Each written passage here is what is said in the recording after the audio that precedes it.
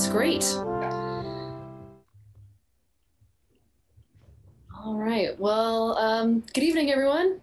Um, I'm going to officially call this meeting to order. Uh, so the first item is to review and approve the agenda.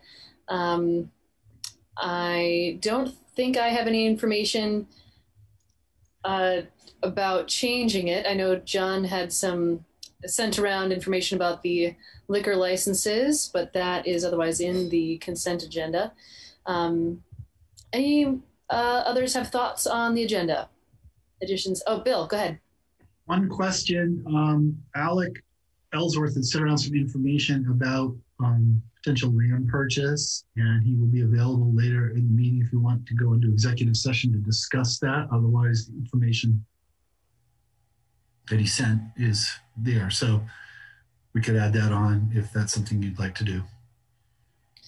Um, one question I have about that is um, what uh, is there a urgent reason to put it on for tonight?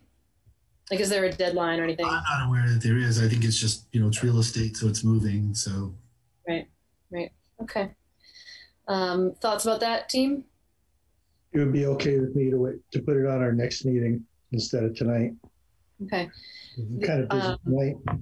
Yeah, I was going to say, uh, my anticipation is that this meeting is going to be kind of a long one. So I think only that would also was- be my. Yeah, go ahead. Go ahead, Donna. Does it involve money in the coming year that we need to think about allocating within our context of our budget? it does, but we weren't going to make any request in the budget. So it would be how to, there was going to be discussion of money, but not with the change to the budget. So whatever that needs to be done doesn't have to be done next year, so we don't have to worry about money for next year? Well, there, you know, we're already getting into some details. So there, there's a, the the short answer is we were not going to ask to increase the budget Okay, for this project. okay, thank you. Well, let's um, plan to have it as a, an agenda item for next time if it's not too full. I don't have recall if that is already very full already, but um, Not late tonight. okay, let's let's do that. I think that would be good. Um, all right. Any other thoughts on the agenda? Okay, so without objection, we will consider the agenda approved. Uh, so on to general business and appearances. This is an opportunity for any member of the public to address the council on any topic that is otherwise not on our agenda. Um, if you do have comments on an agenda item, you can make those um, when we take those up. Uh, but otherwise, if there's something else you'd like to address the council about, now would be a good time to do that. And uh, what's true for this time, as well as any other following public comment, is if you would say your name, um, where you live, and try to keep your comments to two minutes. That would be fantastic. Um, all right, so is there anyone who would like to address the council? You can either physically wave, raise your hand, or make a react emoji. And if you are on phone, you can hit star six to unmute. Uh, Steve Whitaker here. All right, um, Stephen, go ahead. I want to just relay for you what I consider a tragic emergency. Uh, it's in addition to the ongoing bathroom problem. Um, I spent three over three hours today uh, on behalf of a passerby whom I noticed. His story is he got out of Newport. Uh, he's got a wife and kid he can't stay with. And he stayed outside last night. And it was like what two or eight degrees or something like that? And so i spent hours today calling don calling you know ken russell another way director uh, calling talking to will eberly. And in the tens of millions of dollars that have been spent this guy doesn't have a phone by the way. He doesn't have a working phone doesn't have a place to live doesn't have transportation. And all of this combined horsepower and salary and committees and task forces and meetings and minutes could do nothing for this guy. Uh, He walked away after three hours of me doing my best, uh, just totally disheartened and, and despondent that this is the best we can do. And, you know, you may see him wandering around Montpelier tonight if you want to go out, but I just think that this is more serious than you take it, you know? And I'm calling on you to recognize that we have literally failed miserably, you know? Um, I don't know what more to say. I mean, what the only offer Will had was there's a spot up in Morrisville or Hyde Park if he can get there, you know? But he has to be back here in for an appointment in the morning. So even if he could get there, there's no way to get back in time for an appointment. So you really don't take seriously how this crisis is, but when a body shows up, you will, you know? And I just, I, I, you've been hearing at it from me so long, your ears are clogged. So I'll leave it at that.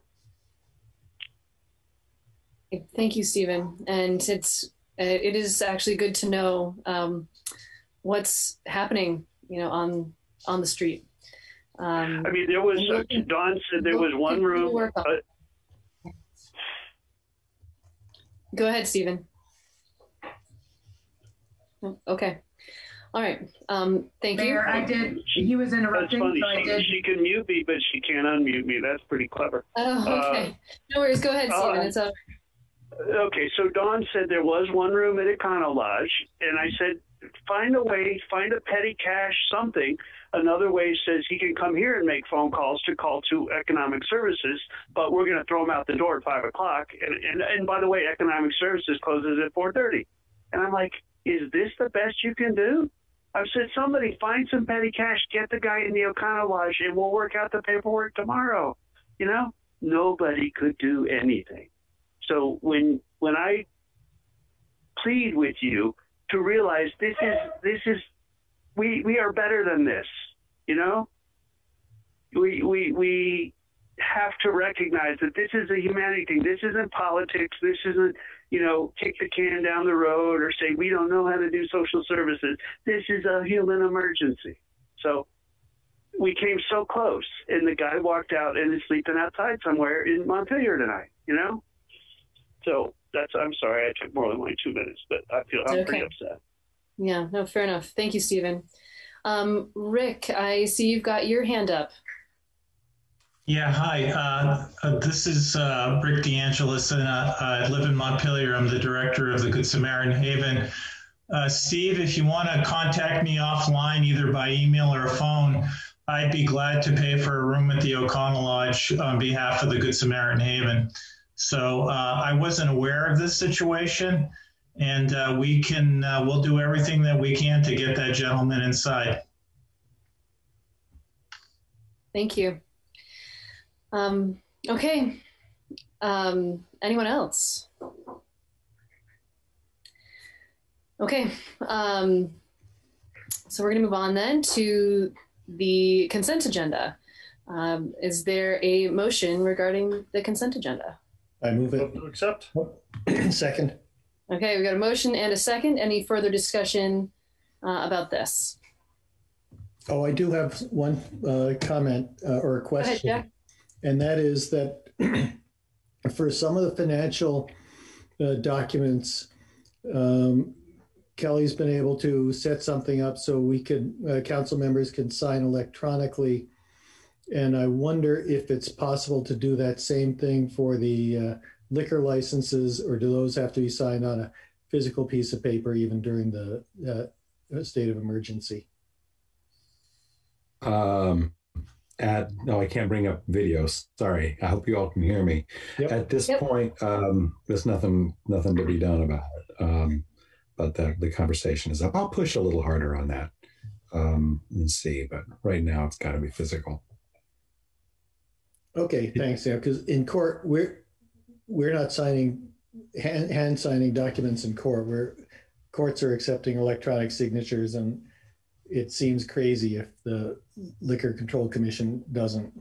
Yeah, it's a little scattershot um, right now, but I'll lean on them. Thanks. Okay, thank you. All right, so there's been a motion and a second.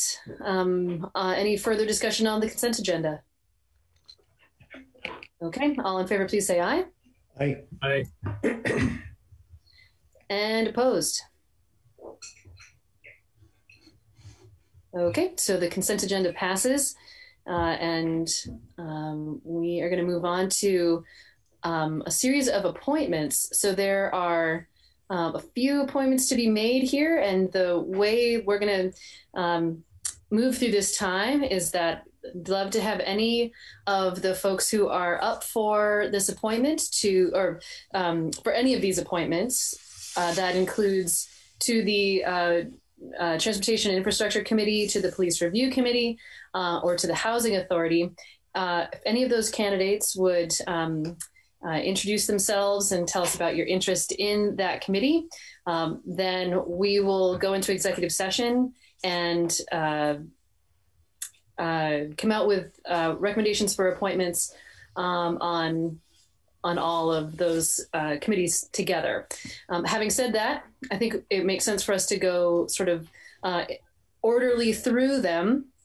So for the uh, Transportation and Infrastructure Committee, are Kate McCann or Christian uh, Mayer on the call? I don't necessarily see them, but it's possible that that they're still here.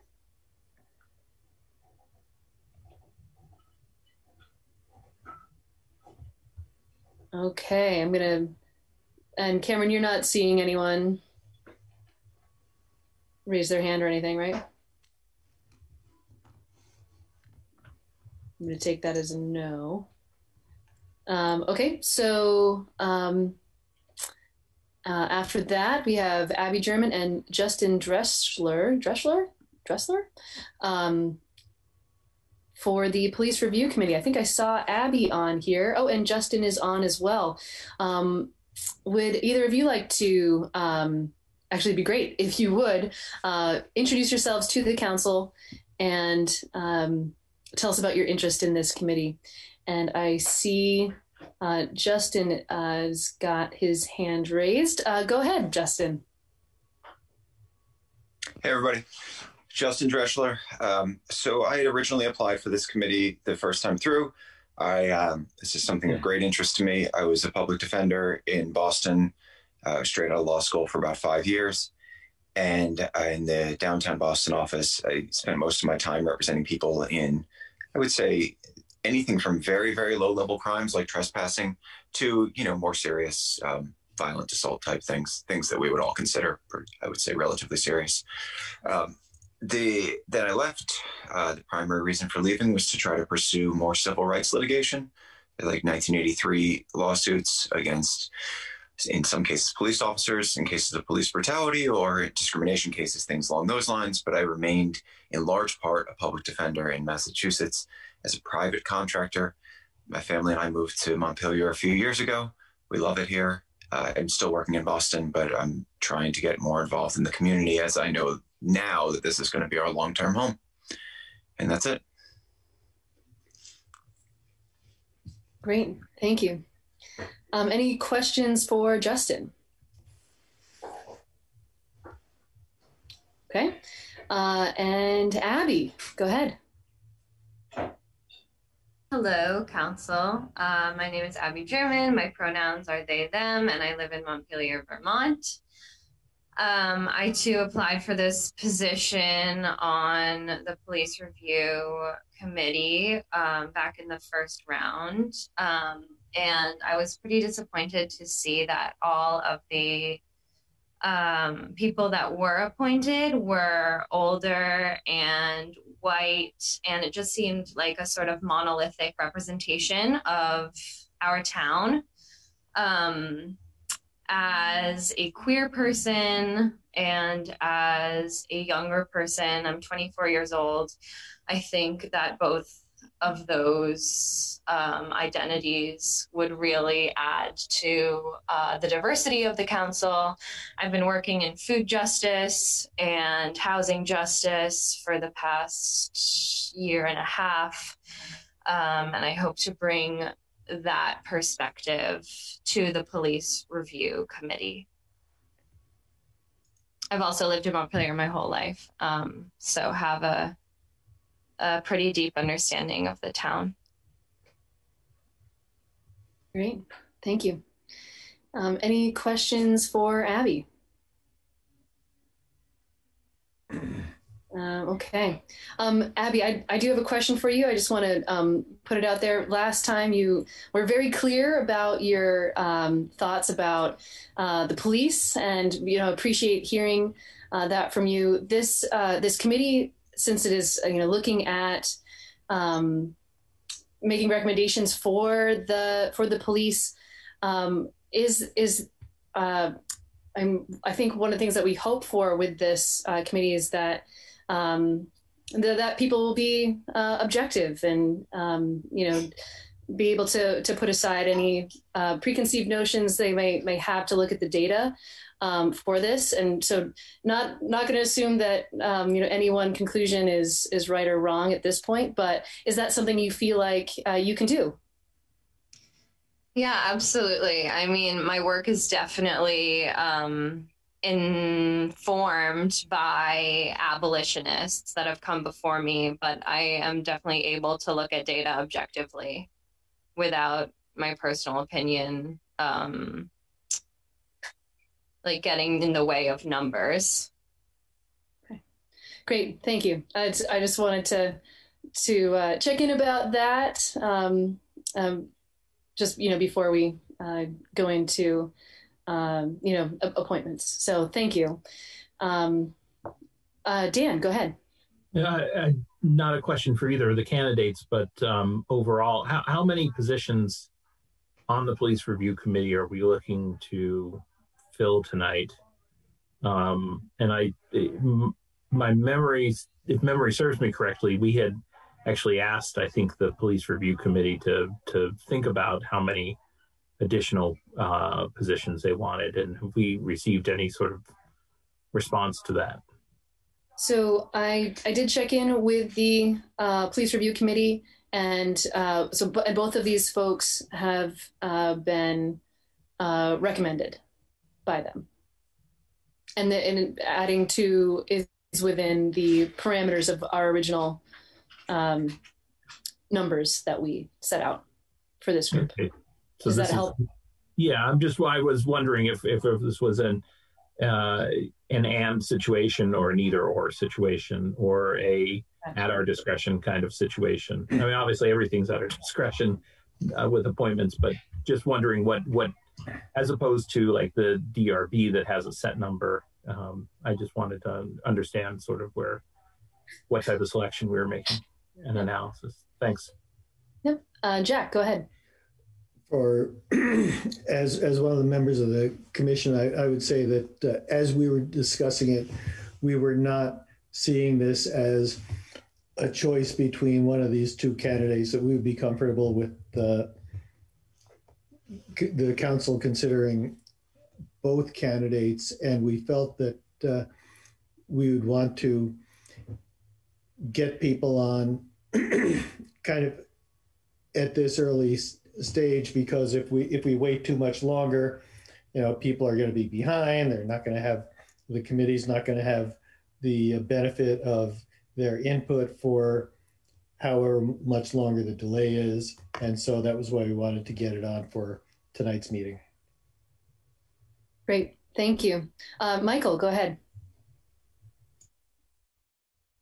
I, I, just to, to follow up on what Jack said and to answer very directly what Dan uh, Dan's question, um, I think I can say with some confidence for the committee that we see these as the last two uh, re- recommendations for uh, for board.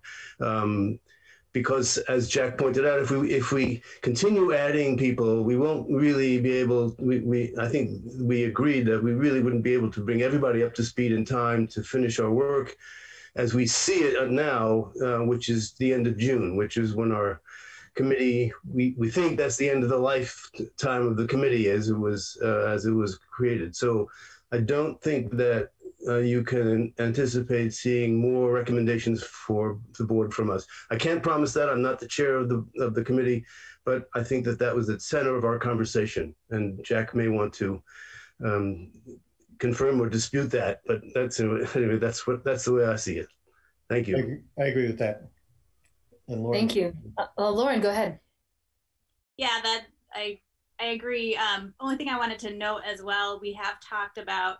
Um, we have reached out to other community members that represent other perspectives and lived experiences that are not represented on the committee right now, and we've talked about um, potentially doing a more informal advisory council to bring in different perspectives in different ways, and are talking a lot about public outreach and engagement. So even though I, you know this this is the set of folks that at least the committee is recommending to council right now. Um, just to be clear to to folks uh, that the goal and expectation is to engage um, a variety of people in different in different capacities and ways, and have um, had some good initial outreach in that vein. Great. Thank you. That seems really healthy. um, all right. So we're to, are there any other um, questions at this point? Comments? Um, okay. Um, so uh, the other appointment uh, is to the um, Housing Authority and Eric uh, Schuthis. I don't. Um, I apologize if I'm mispronouncing your name. Schultheis. Um, is Schulteis. Thank you. Um, Yeah. Is Eric here? Okay, I do not see Eric. Um, okay, so so from here, that that those are all the. Uh, Jack, go ahead. Uh, Pursuant to one VSA section three thirteen A three, I move to go into executive session to consider the appointment of a public officer. Okay, we have a motion and a second. Um, any further discussion? Okay, all in favor, please say aye. Aye. Aye. Okay, so we, uh, the council, are going to hop off of this call, but this line will stay open. Um, so we will return to this um, shortly. Okay, so we are out of uh, executive session. And is there a motion regarding appointments? Uh, yes, there is. I'd like to make a motion that we appoint Kate McCann and Christian Mayer to the Transportation and Infrastructure Committee, that we appoint Abby German and Justin Dressler to the Police Review Committee, and that we appoint Eric Schul- Schulthis to the Housing Authority Committee. I'll second it.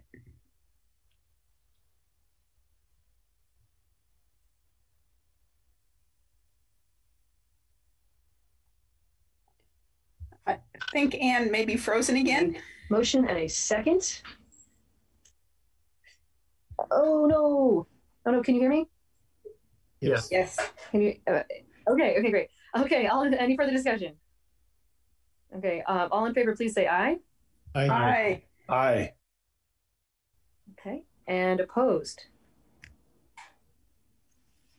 Okay. All right. Well, thank you, everyone who stepped up for uh, those appointments, and um, thanks in advance for your work. Um, all right. So we are going to move on uh, in the agenda, and I, in all of my technical difficulties, I am not sure which item is next. Um, so, um, yeah, somebody help help me out. Which what item is up next? Above and beyond. What's that? The above and beyond awards.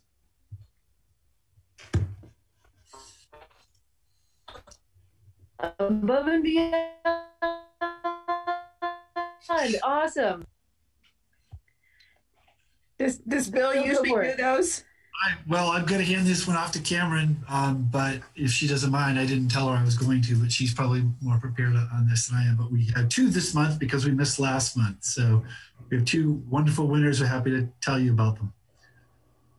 Thank you, Bill. Um, so yes, we're a little behind. So this is for November and December from last year, and we're all caught up caught up now, and we'll start doing January's next month. So we have two folks this month. We have um, Jacqueline Huttenmoser from our Parks Department. Um, she's really been the driving force behind creating our Feast Farm program um, in the challenging COVID 19 environment. Uh, she's created a community farm that's growing food to support our um, home food delivery program through the Senior Center. And she's really been working through all of these quarantine days. She's been getting grants for it on her own. She's raised over $7,000 to support this project, and the food's going to a really great cause and really supporting our community.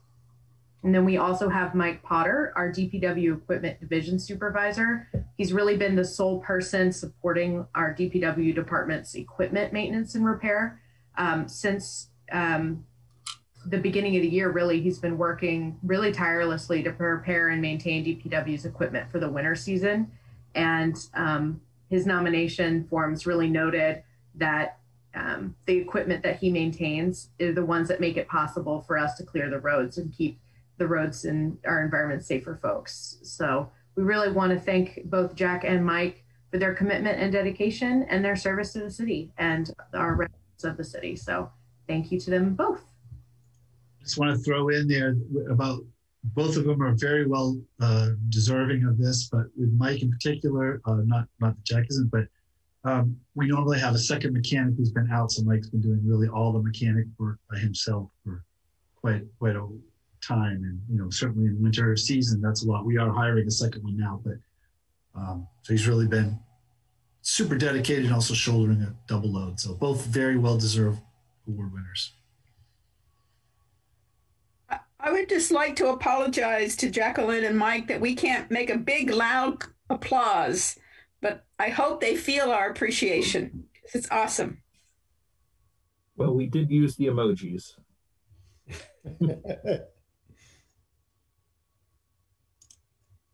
Thank you.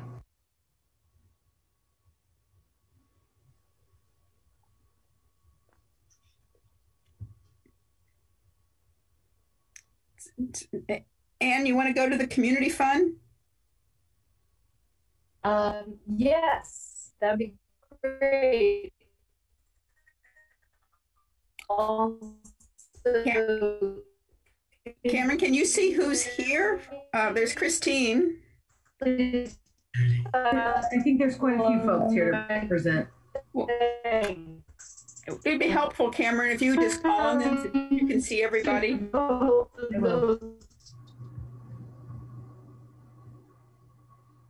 Fabulous employees.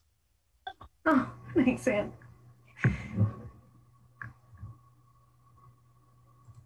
All right, I think Christine is here to speak.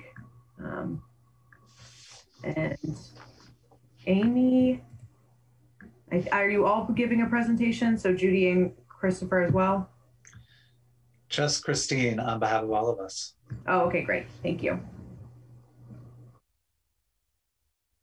Okay, well, I'll jump in. Um, thank you so much for having us. Um, we are cognizant that you have a packed agenda tonight, and we're really grateful to you for fitting us in. Um, so, um, this is the Montpelier Community Fund Board. We usually come to you every year at this time and share recommendations with you. And so we're doing that again tonight and also um, hoping to share not only some recommendations, but also stories with you. Um, so to facilitate that, I'm going to go ahead and share my screen. Um, and um, you have permission to do that now. Okay, super. Thank you so much. Um,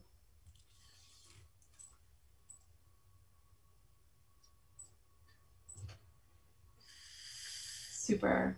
All right.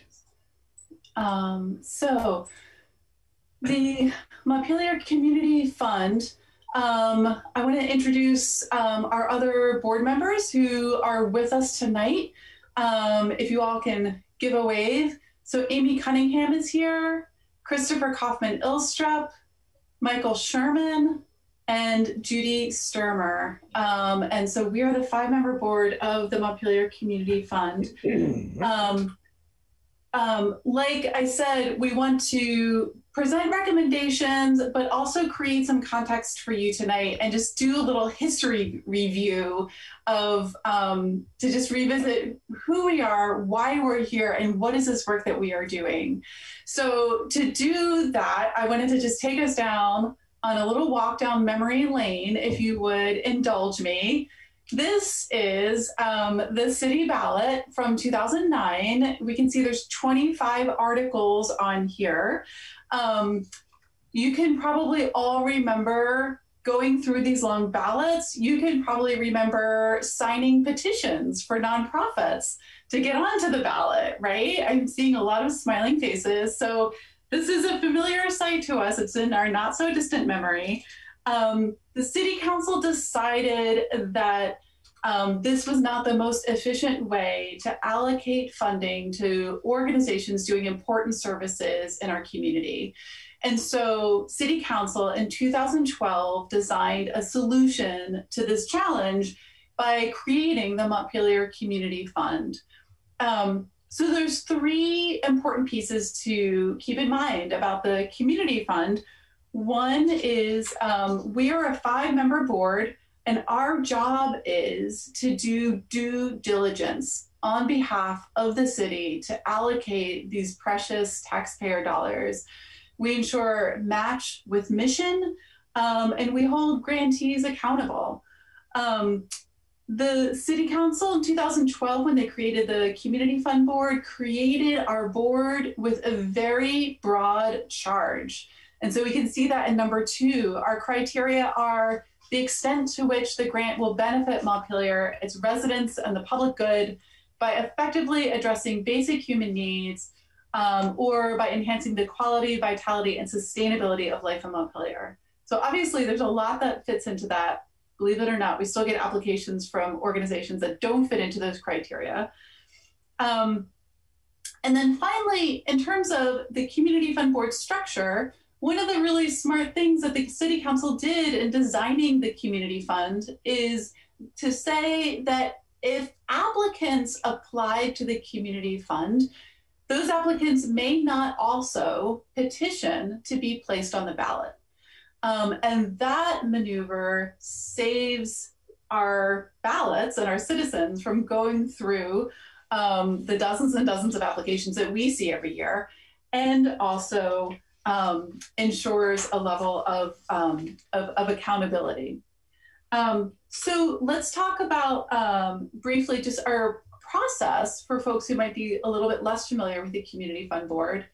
Um, what um, our process is, is that we will typically start our work by meeting in the late summer or early fall. We review the application and guidelines. We have worked hard to um, make sure that those applications and guidelines are as streamlined as possible and accessible as possible for grantees. We have a page on the city website. Um, I'm going to pause and give a shout out to Mary Smith for her incredible level of support this past year. Thank you so much, Mary. You made our work possible. Um, and then we release guidelines and applications and promote them like crazy. Hopefully, you saw our social media posts, you saw our posts on Front Porch Forum advertising the community fund board to make sure that anybody who's providing important services in Montpelier knows about this as a source of funding. Um, every one of our five board members reads every application. Um, applications usually are 10 to 20 pages. Um, and then we meet for uh, about a half a day in December to make final recommendations. And then this tonight is when we bring you that final slate of recommendations for you to vote up or down as a group. Um, so that is our process. This year, our applications um, total $130,150. There are four, 34 grants in total. Um, you have those grants um, as part of your city council packet. So you have um, our minutes with a list of all of the grant recommendations that are included in your packet.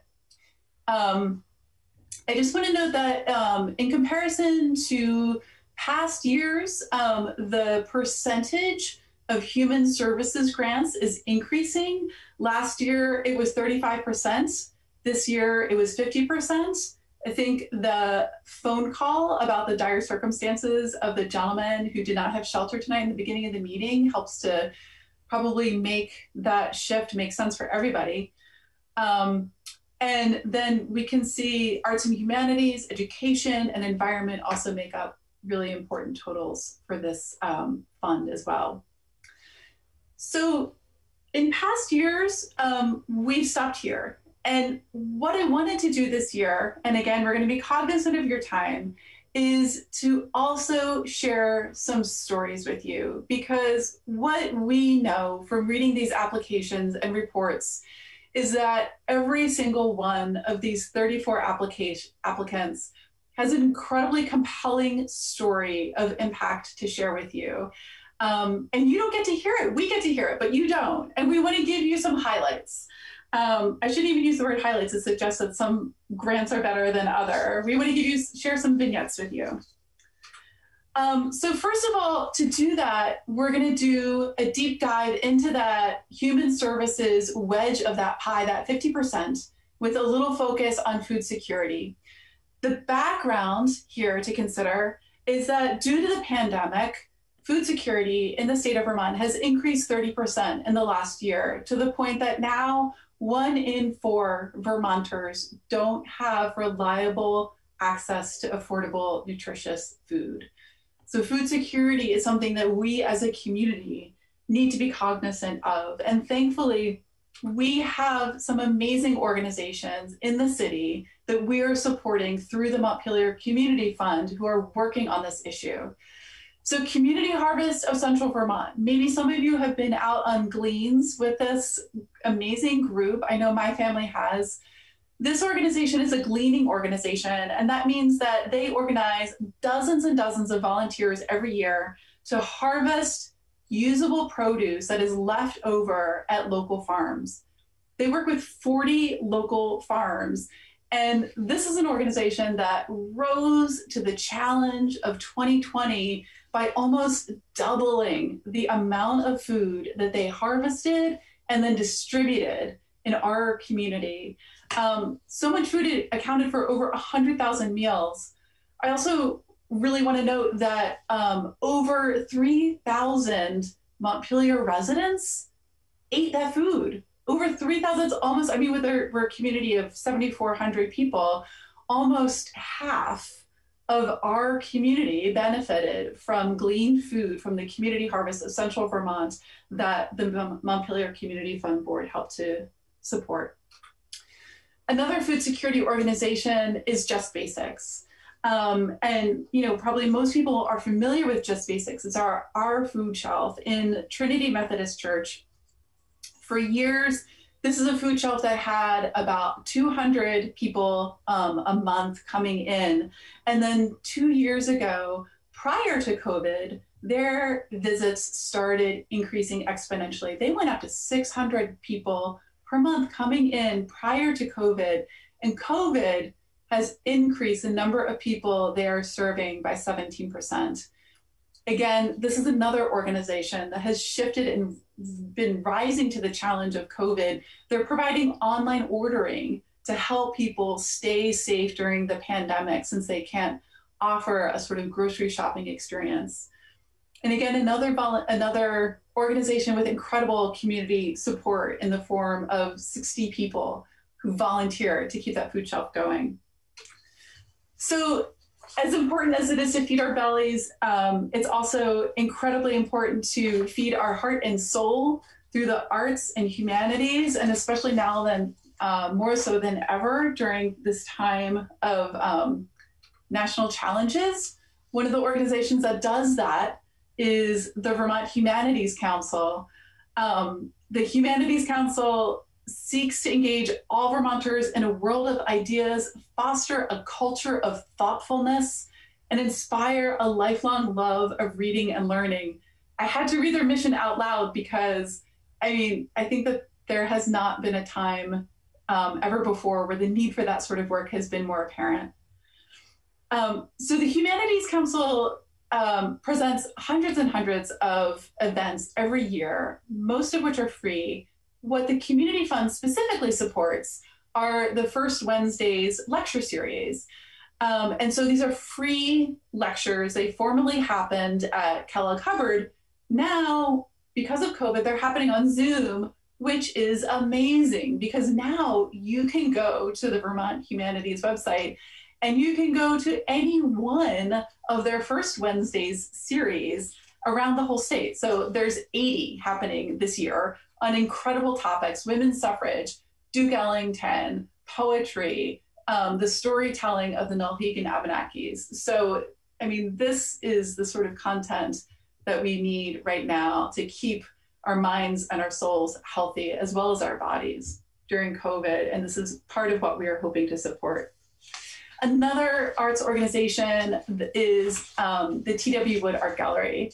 Now, again, this is a well known organization in town, but um, I want to pause just to note and have us fully appreciate um, how incredible it is that in, in a town of our size, that we have a community arts organization with a large permanent collection of incredibly important artwork from the first part of the century, as well as galleries for new contemporary artwork. And this is artwork that's not just stuffed into their vaults and galleries. They are getting it out in the community. They are placing this artwork at the State House and at the hospital. They're encouraging people to interact with their artwork everywhere, just the way that TW Wood is in, inviting people to interact with them through classes and camps and poetry readings with an incredible commitment to making their programming accessible to everyone. Um, they have a really strong emphasis on scholarships to make sure that if you want to send your kid to art camp, if you want to send your kid to their after school programs, you can do it um, regardless. Um, so let's move on and think a little bit as well about the importance in our community of also making sure that every Montpelierite is able to access this community that we all know and love and be a part of it. One of the organizations that does that is the Central Vermont Council on Aging. Um, this is an organization I confess I did not know a lot about before I became involved with the Montpelier Community Fund Board. Um, they served a whopping 362 Montpelier residents this past year with a whole suite of services, some of which you see here. Um, they're ensuring that people get meals. They're ensuring that people can access Medicare. And again, this is an organization that has shifted in, in a remarkably flexible way in response to COVID. Um, you know, we all feel, I will speak for myself and guess that others feel the same way, isolated as a result of our lack of ability to connect to others.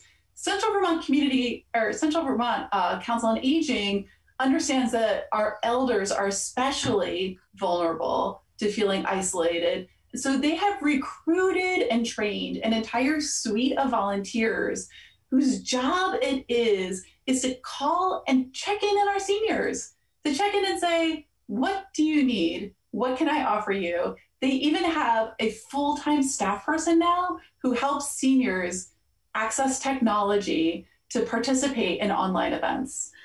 Um, and if that is not responsive to COVID, I don't I don't know what is. One more organization that we want to share with you, um, and that is the Vermont Center for Independent Living.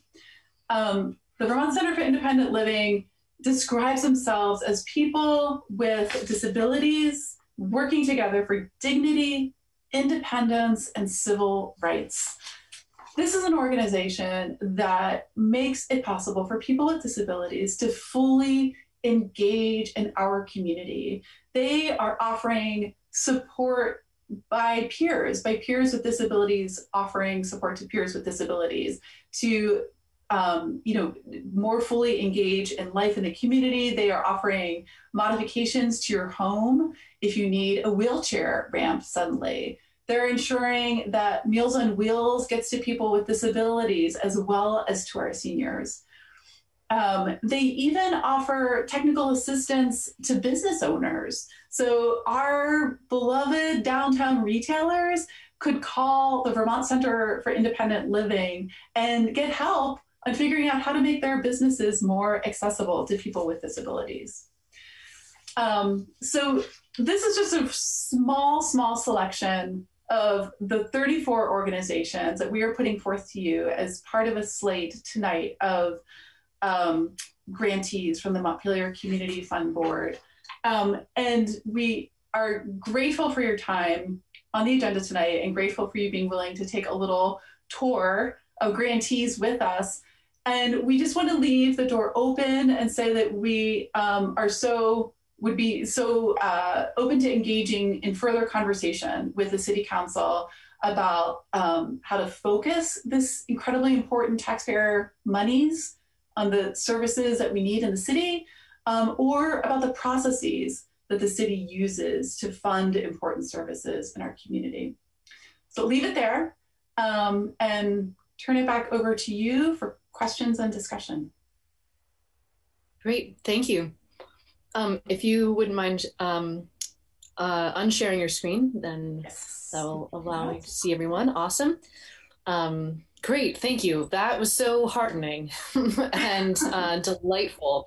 Um, you know, we we know we have a lot of um, fantastic organizations that we we know are funded through the community fund, but it really is um, delightful to hear those, like how it's at least a few examples anyway of how that money is actually being spent. Um, makes me really uh, proud of of this this fund and and all of your work. It's so grateful for um, the time that you all spend going through those applications and and vetting them and making sure that people in Montpelier are spending their tax dollars not just wisely but to to help um, our our own community effectively. Um, so that is uh, really wonderful.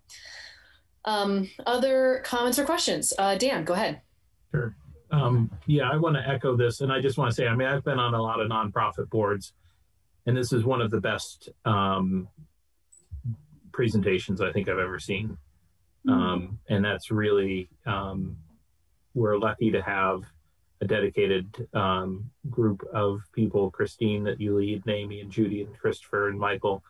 Um, we're really lucky to have that because I think you do a lot of the important work of making sure that, you know, it isn't a race to the ballot like it was before, and who can get the necessary signatures and just sort of put on what what you know was either on before people were used to voting for, or what may come off as sort of popular, but what's really needed. And I really appreciate the work and thoughtfulness you guys have put into this. And like I said, I mean, it's really heartening to hear these stories. It's also somewhat depressing to hear, you know, some of the rise of food insecurity and uh, human services that are you, are addressing and picking up.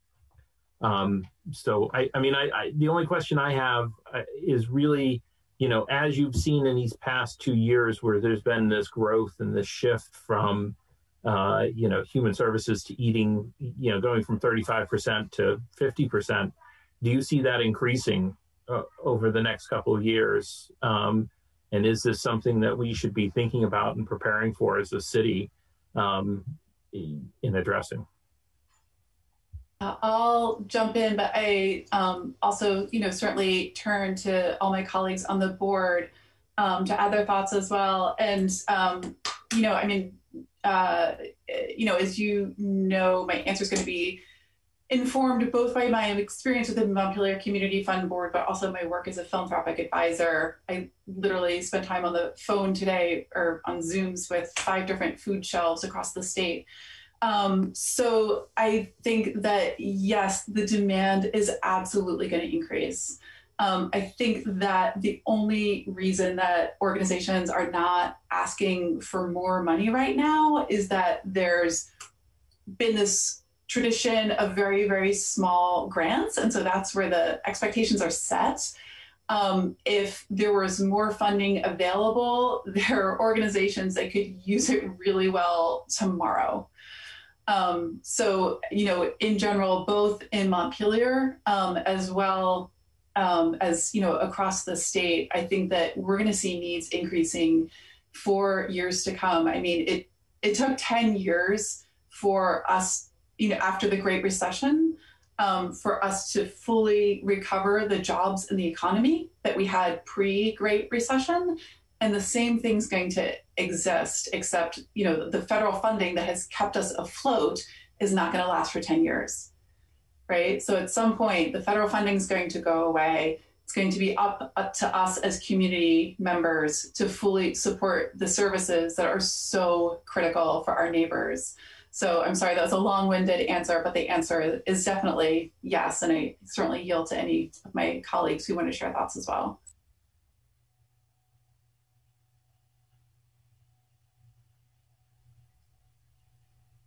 Okay. Thank you. Um, other thoughts or questions? Uh, Jay, go ahead. Christopher, did you want to add something? I'm sorry, I thought you put your hand up.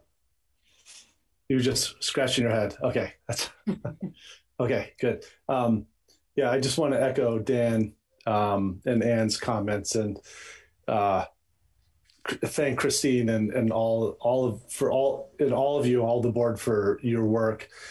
Um, for all the qualifying organizations, I wish we could fund them all at 150% of what they asked for. That's for sure. Um, just one one question that I had, just to help my understanding, was I did notice in the list that there are a lot of statewide organizations um, that apply and there were um, some that were fully funded and there were some that were called out for not necessarily not called out that maybe that's too tough but but were in your notes would acknowledge that they didn't necessarily connect to the montpelier community enough. And so i'm just curious how you all quantify that. I think you gave a great example with the humanities council about the lecture series and how it comes right to montpelier. I just want to understand how um, you all sort of make those decisions for organizations that are not just Montpelier focused? Yeah, that's a really good question, James. I'm glad you that you asked that. Um, so in our application, we ask specific, we ask you know broadly about mission, you know the organization programs, but then we also ask specifically about activities in Montpelier and the number of Montpelierites served. So we ask about the total number of people an organization might serve, but then of that total, we're very interested in knowing how many people specifically in Montpelier are going to be served. And you're right, we that's a piece that of course we take really seriously. There are statewide organizations who manage to also, as you described, be intensely local and offer very appropriate locally specific activities. You know, there are some statewide organizations that um, offer programs with a broader brushstroke, right? And sometimes those are not, we feel that they are not as appropriate for the city of Montpelier. So, um, you know, that's uh, definitely a filter that we use rigorously.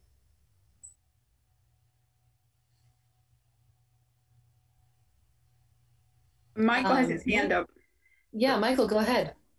Um, I just wanted to add that one of the other questions that we have on the application is um, the extent to which any one organization interacts and, and works with and cooperates with other similar other organizations doing similar work, it, which allows us really to assess sort of their you know their uh, understanding of where they fit in our in the community and and in this community of, of organizations that are providing services. And and that is one of the that is one of the things we do consider um, and and try to incorporate into into our our thinking and and, and award making. Great, thank you. Any other comments or, or questions? Okay. Um, well, so again, um, thank you uh, for that presentation. That was really that was very helpful. Um, I, actually, I do have one further question. Um, is the timeline that you all are working on now does that work for you all? Uh, that is a really good question. I will say honestly, the timeline is really awkward. Um, okay. And here's here's why. I'm not sure that there's anything to be done about it, though. Truly, because you know we have applicants who are putting their applications together, let's say um, in October for a November deadline. So let's look at this past year. Um, they're, you know, they're putting an application in in November of 2020 and then they will hear about recommendations. Um, they'll wait until town meeting day to find out whether or not the budget passed and they're funded. And then in um, July or August, July, August, um, they will be funded. So, you know, they're going from November to July. I'm sorry, July, beginning of the fiscal year, July. Um, yeah, July. No, Okay. that's right. Yeah. yeah, so it's you know it's an extremely prolonged period. Um, you know, I'm not sure there's anything that we can do about that. I, you know, but you know, anyway, in response to your question, the timing is awkward, and we just try. We actually just recommitted as a board to putting together materials uh, and a, a list of FAQs so to, as to explain that timeline to grantees and, and make the process a little bit less mysterious for them. Um, you know, I, I, I don't think that there's much that we can do to address it, but we'll just help to, you know, hopefully we'll make the process a little bit easier as we keep working to streamline things. The other point, if I may, Mayor, um, is that go ahead, Donna. They're giving a report on data of the completed year. They're in the middle of one year, and they won't get paid. Actually, the checks don't come until August. So it's a very strange timeline. And I don't know what you do with it, but it's very strange. Yeah.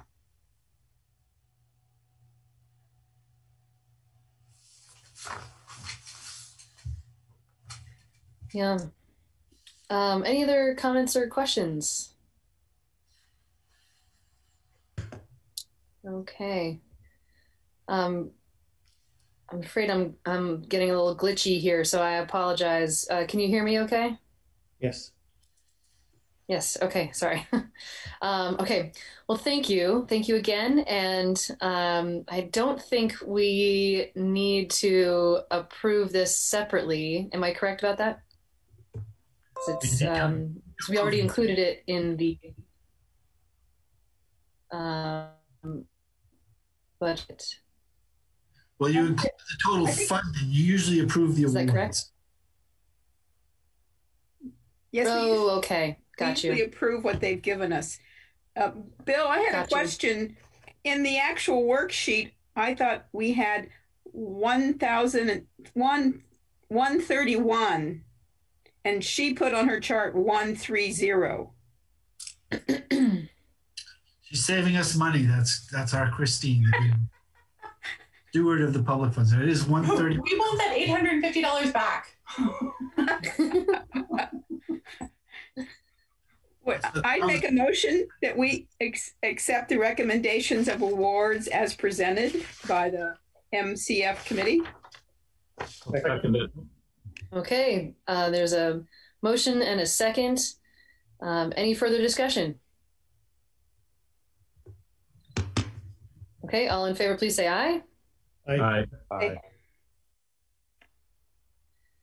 Okay, and opposed? Okay, all right. Thank you again um, for all your work. So appreciate it. Um, all right, so next up is the uh, audit. And I am assuming that the folks um, from the audit are here. Um, and so I'm going to turn it over to to them. So I'm going to touch things off here and just provide a quick introduction. I um, don't have a presentation prepared. Um, the summary memo, um, just detailing kind of a high level of um, kind of the puts and takes of where we ended up, um, is provided online. Um, hopefully, you get a chance to take a look at it, um, and I'm happy to take questions on it um, if needed. But without further ado, um, on the call tonight, um, we've got myself, um, our senior staff accountant, um, and then you've got members from our auditors forum, um, Ron Smith and Miranda McDonald. Um, and so I'm just going to kind of tee things up here, and then they're going to take over and um, provide more detail and then take questions. Um, so just uh, we engaged um, RHR Smith in 2019. So this is our second audit with them, um, and things have gone really, really well. Uh, we're really pleased with the outcome. Um, you know, we ended the year um, with a, a, positive to the general fund of $4,130, which is kind of a big deal because following the bouncing ball around, um, we're actually to the good. Um, and that, you know, is through a lot of effort, you know, city staff, you know, putting in um, the work and conserving resources. So our plan's working. Um, so that's, that's good. Um, the other thing that, you know, the audit does give us is um, a single audit um, for federal funding that exceeds $750,000. there's also a TIP report that's included. Um, and so, to that end, we had an unmodified opinion over last year's opinion, which means we've got a clean audit, and um, that makes me pretty happy. Um, so, happy to share that. And then, um, moving on just to kind of the discussion for tonight, and we'll we'll have um, Ron and Miranda, you know, touch off here. But what I want to kind of review is just sort of some of the results uh, within the funds, um, government proprietary, um, our net position in some of our proprietary funds, because while you know it's good news in 20 that we're coming in where we are, we do have some work to do, and I just really want to underscore that so that then we can kind of get the ball rolling. Um, and then you know we also want to really highlight the impacts of our infrastructure upgrades um, and what that's doing to our proprietary funds. So um, we are currently working with Public Works to get the utility budgets together, and those will be coming forward in February.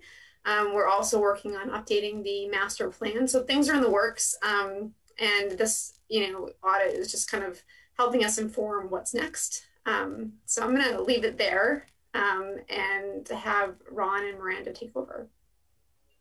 I want to know how to do the emojis. Miranda, go ahead we'll have a lesson on that. Um, so I want to say it 20 was, it's been a hard year and it's been a hard year for everybody.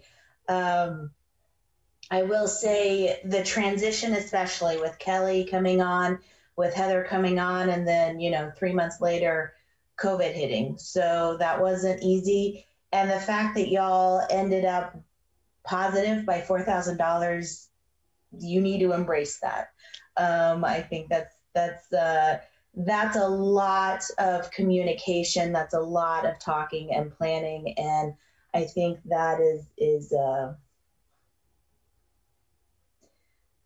you know that's that's that's good, and um, that means well, you know what that means. Um, that is something though that you need to talk about also going into 21 Remember, well. she's from she's from Southern Vermont, down in Texas, you guys. So forgive her there. She's stuttering a little bit. I am. Um, you know, with that four thousand dollars, it contributes to your overall fund balance um, of just a little under two million dollars. Um, so when you look at it, you have about a fourteen million dollar expenditure budget um, for FY20. So that's roughly about 30 days, 30, 45 days worth of expenditures, which is good ish. Um, we like to see it a little higher, but um, right now, with what the world is going through, I think um, it's uh, it's positive. It's a positive note. Um, yeah, I'll, I'll, hop in here. usually the standards say 30, 60, 90 days of your operating budget. So in Montpelier terms, a million, two million, three million. And as Miranda said, you know, you landed on right around uh, 45 days, you know, of your of your fund balance and unrestricted is the big one. And I think that was a little north of a million four. So I think that that's great. And the fact that you landed this plane, you know, um, uh, with all the the, the adversity that you guys uh, f- felt in last year, I think is remarkable. Um, so with that, I think um, the next topic is the enterprise funds, um, which is your water, your sewer, um, parking, and and uh, district heat. Um, water and sewer being your largest funds. Um, you know, water and sewer, you actually had a net increase in your fund fund balance. So you did put money into that, but I do think a large part of that was you delayed projects. Um, you know, you didn't know what was happening in the world, and I think um, a lot of that was delayed projects going into the last three months of the fiscal year. Um, parking and district heat both had um, a um, you overexpended, so you had a decrease um, in that position um, with that. So that is something that probably should be looked at. Um, but also, you, you've delayed some projects in your enterprise funds, but you still have, you know, you've still invested heavily in your capital assets.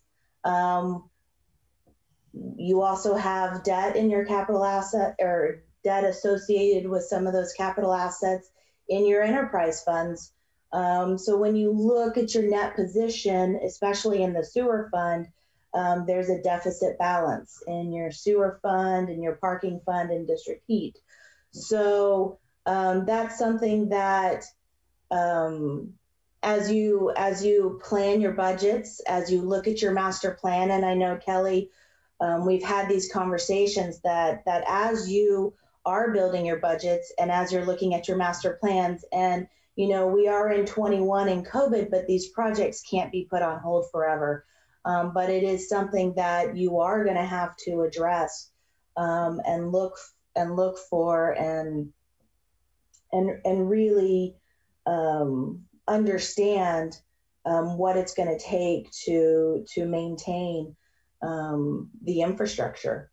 Yeah, and I, and I, think it's fair to say you all what what equity that you guys have in your utilities and these enterprise funds it's all tied up in your infrastructure. There's really not a lot liquid there. And I think you're going to face some big challenges in the very near future, you know, with all the projects that you got going on, all the delays that you had, all the future forthcoming projects, reviewing this master plan that you have.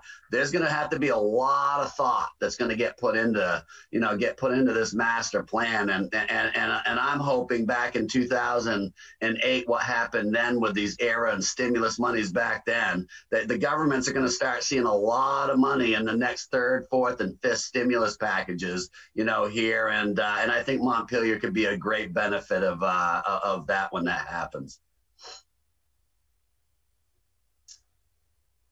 I wanted to ask uh, Miranda a question. Yeah. Yeah, go ahead. You labeled the page differently, but your numbers match the ones on statement B, where you have those water, sewer, parking, and district heat. Um, what did you call this? As you were talking, you called it something else. This is uh, the enterprise funds. Enterprise fund. Okay. Yeah, statement G. Yep. Well, this is actually um, statement B that I'm looking at. So I should so be. Statement B um, is a consolidation of all um, operating. But if you mm-hmm. go further into the document, um, okay. Statement C is your fund financials. So when I looked at the general fund, that's usually what I look at is statement C. Um, that's going to show what the fund balance, the 1.8 um, or 1.9 mm-hmm. million. And then if you go further down into uh, statement E. Yes. And then statement G is what I was looking at for the enter- proprietary funds, um, but they're they're enterprise funds. Okay. Thank you. It helps me to correlate the documents with you. Yes. Sorry about that. Are there any other questions? Um, I don't have a question. I am just uh, thrilled that we had a clean audit, unmodified, and um, I think that speaks well of our uh, financial team, and I'm so grateful for all of their work. Um, I also just think it's worth uh, saying out loud that you know I certainly hear you on the um, on the fund balance uh, amount, you know, whether it's, you know, 30, 60, or 90 days worth of fund balance. And, and you know, it, it seems to me that, that, um, you know, as we consider what we put our money towards, uh, when we hope things turn out to be better than we expect in this budget, um, that uh, some of it I think ought to go towards um, building up, uh, excuse me, building up our unassigned fund balance um, so that we have um, some resiliency for when when times may be hard again. Um, so that's um, yeah, your point is well taken. Um, other thoughts or comments, questions? Uh, Bill. Uh, yeah, I'd just like to offer a co- couple comments. First of all, thanks to the auditing team for the report and the hard work that, that you did. It's been great working with you. Um, one of the nice things about when we do the audit is we get to recognize um, at least one person that we don't normally see. So Heather Graves is with us today. She's the our head of our you know our top accountant and doesn't come to many council meetings, but really does all the the work that, that keeps us together. And, and as um, Ron and Miranda said, uh, we had you know Ruth retired, Todd left. Uh, we didn't backfill positions, so Kelly and Heather and their team were really doing this short staffed, and Heather really had to step up in that chief role. So not only did we were we able to pull off a clean audit, but doing it under some pretty tough situations throwing a pandemic on top of it. And uh, so we're really proud of both of them and the whole finance department. But I really want to give a shout out to Heather because we don't get to get to thank her publicly enough. So um, thank you. Well said. Uh, Madam Mayor, can I make a comment? Um, you may, Stephen. Go ahead. Uh, I just want to uh, thank the presenters and uh, ask that you this this issue of the of the infrastructure, the repairs, the money coming our way, and our preparedness to act on that money and spend it wisely requires a whole lot of planning that that, that we're not that good at, or that demonstrably we're not that good at. So I'm I'm glad that they made the point. I think you'll hear it better from them than from me, but if we this is going to be a once in a lifetime opportunity to use stimulus money, and we are we we are still not yet acknowledging the the depth of the overdue and deferred maintenance on our, our sidewalks and on our curbs and on our storefronts and and streets and and water systems. So I just I just want to um, commend that they brought that up and uh, ask y'all to find a way to discuss this at a real at a meeting as soon as soon as possible and uh, get started on it. Thanks. And I would offer that we be more than uh, uh, embracing and extending our hand to participate in that, because I think come March or April, you guys will be armed with better information, you know, on what uh, what relief is going to look like.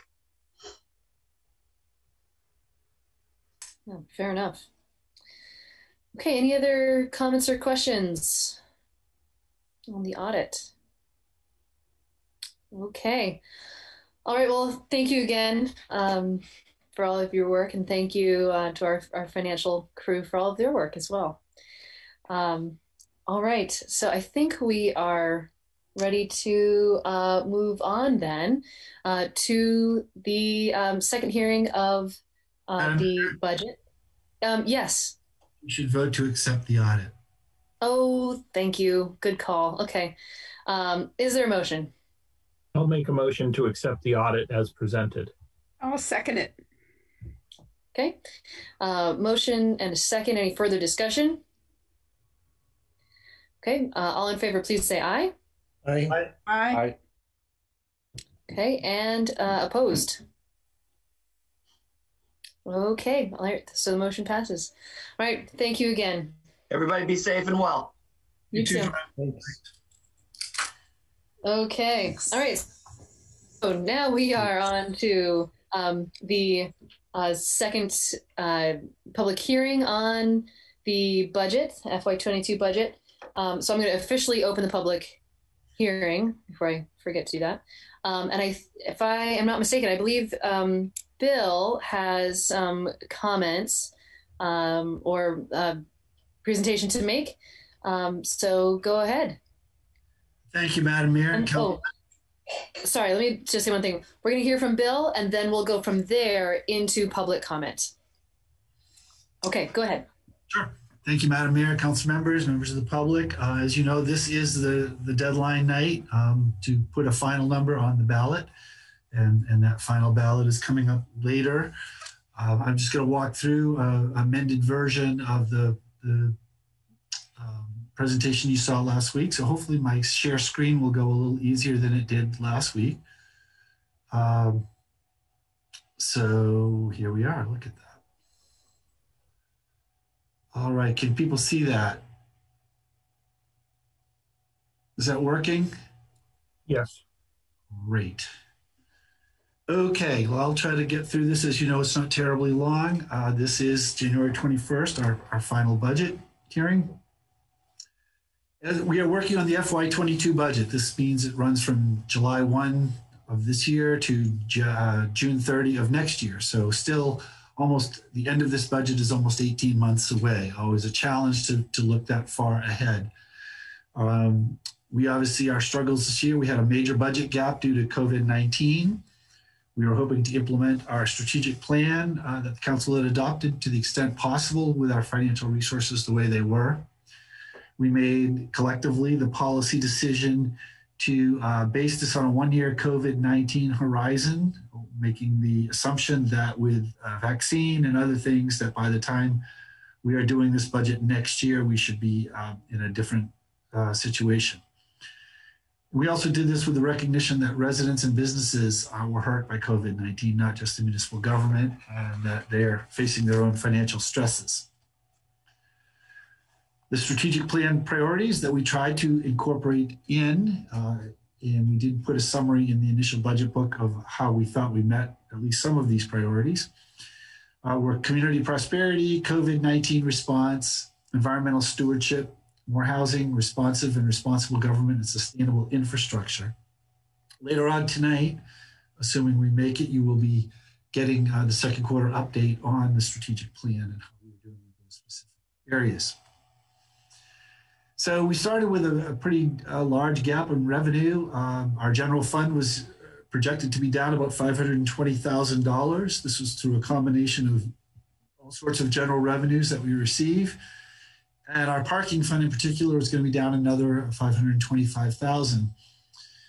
And uh, the, the, question I always get asked, you know, isn't the parking fund an independent fund? And it is, but several um, activities, uh, police, finance, DPW, many others are funded by the parking fund uh, because of the work is related. And normally portions of their budget are shown in the parking budget. And because those those revenues had dried up. Um, some of those funds, over half a million of those funds, appeared in the general fund, helping to create uh, an even bigger budget gap of about a million dollars.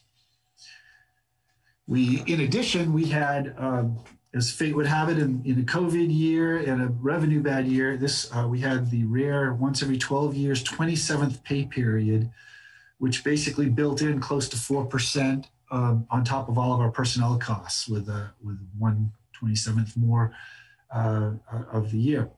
So that added added funds. Plus we have steps and other costs of of personnel. Uh, we recognize we've been underfunding legal and needed to set something aside for that. And um, we are, as, as you know, we're about to embark on a reappraisal, uh, and which costs in the neighborhood of $260,000 and we're going to start putting money in reserve for the next one in another 10 years uh, because that's actually what state gives us money for so all of that was about 400000 making a total combined budget gap when we started working on this budget of uh, 1.44 million dollars obviously we've we've had some budget challenges in the past but never anything like this so in order to try to close that gap we left uh, six positions vacant throughout the budget uh, one police officer, one finance position, two rec positions, and two DPW positions. We also scaled back on our capital equipment plan and uh, realizing what a difficult decision that is based on the conversation we just had.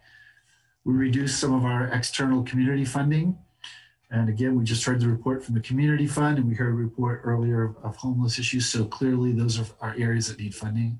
Cut back at operations funding, and we have one less ballot item uh, this year. Um, at least we did. Tonight, we'll know for sure, I guess.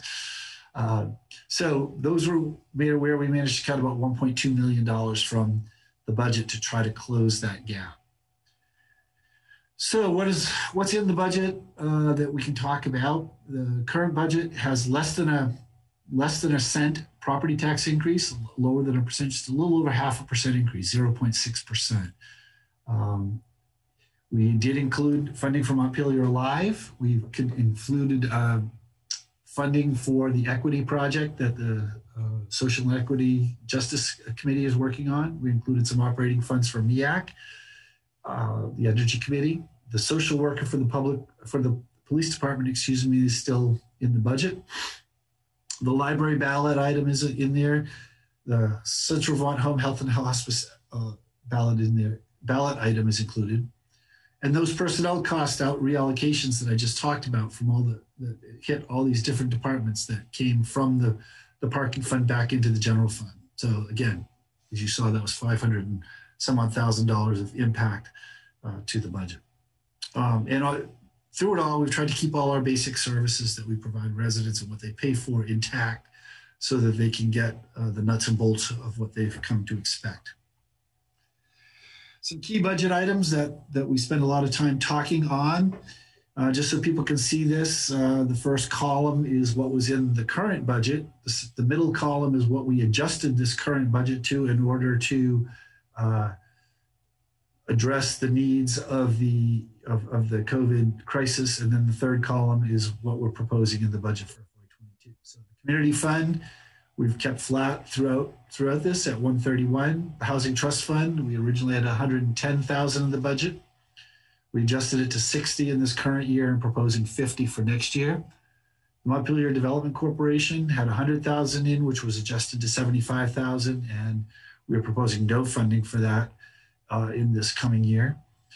Homelessness Task Force, again, originally at 45,000, we dropped it to 22.5. Council restored it to the full 45 uh, for this coming year, recognizing the importance of that.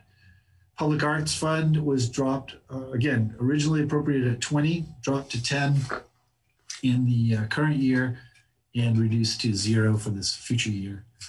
On the other side of the spectrum, the community capital area neighborhoods had not received funding uh, in prior years, but was added uh, for 20,000 for this year. So you can see this funding area originally we had a little over 400,000 in these in these areas. Now we're just under 250,000.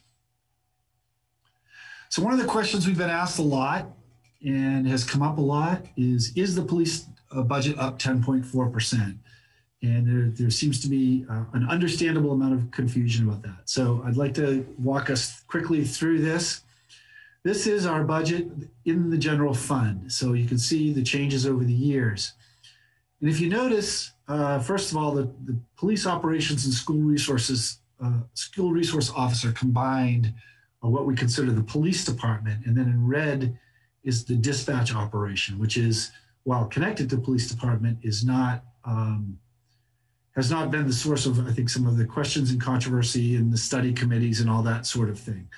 Um, so you'll see that was actually up 20.6%. So when you combine the two of them, who are run by the Montpelier Police Department, that budget is, in fact, the general fund budget up is up by 10.4%. The police operations itself are only up by about 7%. But I'd also ask you to notice if you look at the prior three years, you see, you know, fairly steady growth, obviously just some inflationary growth, and then a pretty large jump, $150,000 this year. Uh, and I think that's what people are objecting to. You see the similar thing in dispatch. So why is that? Why, why would we do this in a year where police are under question?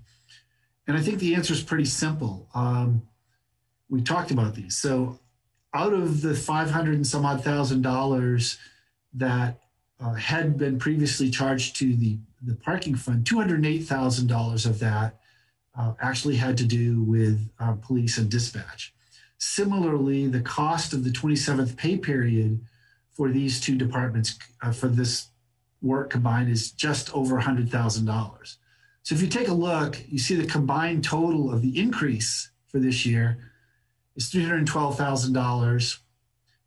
And yet the combined uh, sort of impact of the parking fund and the general fund is $308,000. So it's a pretty direct uh, shift of where the money's coming from, not increases in money. So we'll take a look at that um, at police itself, since that's the area. So again, we take a look at the police department combined, and we take out that that 27th pay period, and then our now we're at a sort of a more serviceable 3.4% increase, which is not that out of line with um, departments that we've seen in the years past.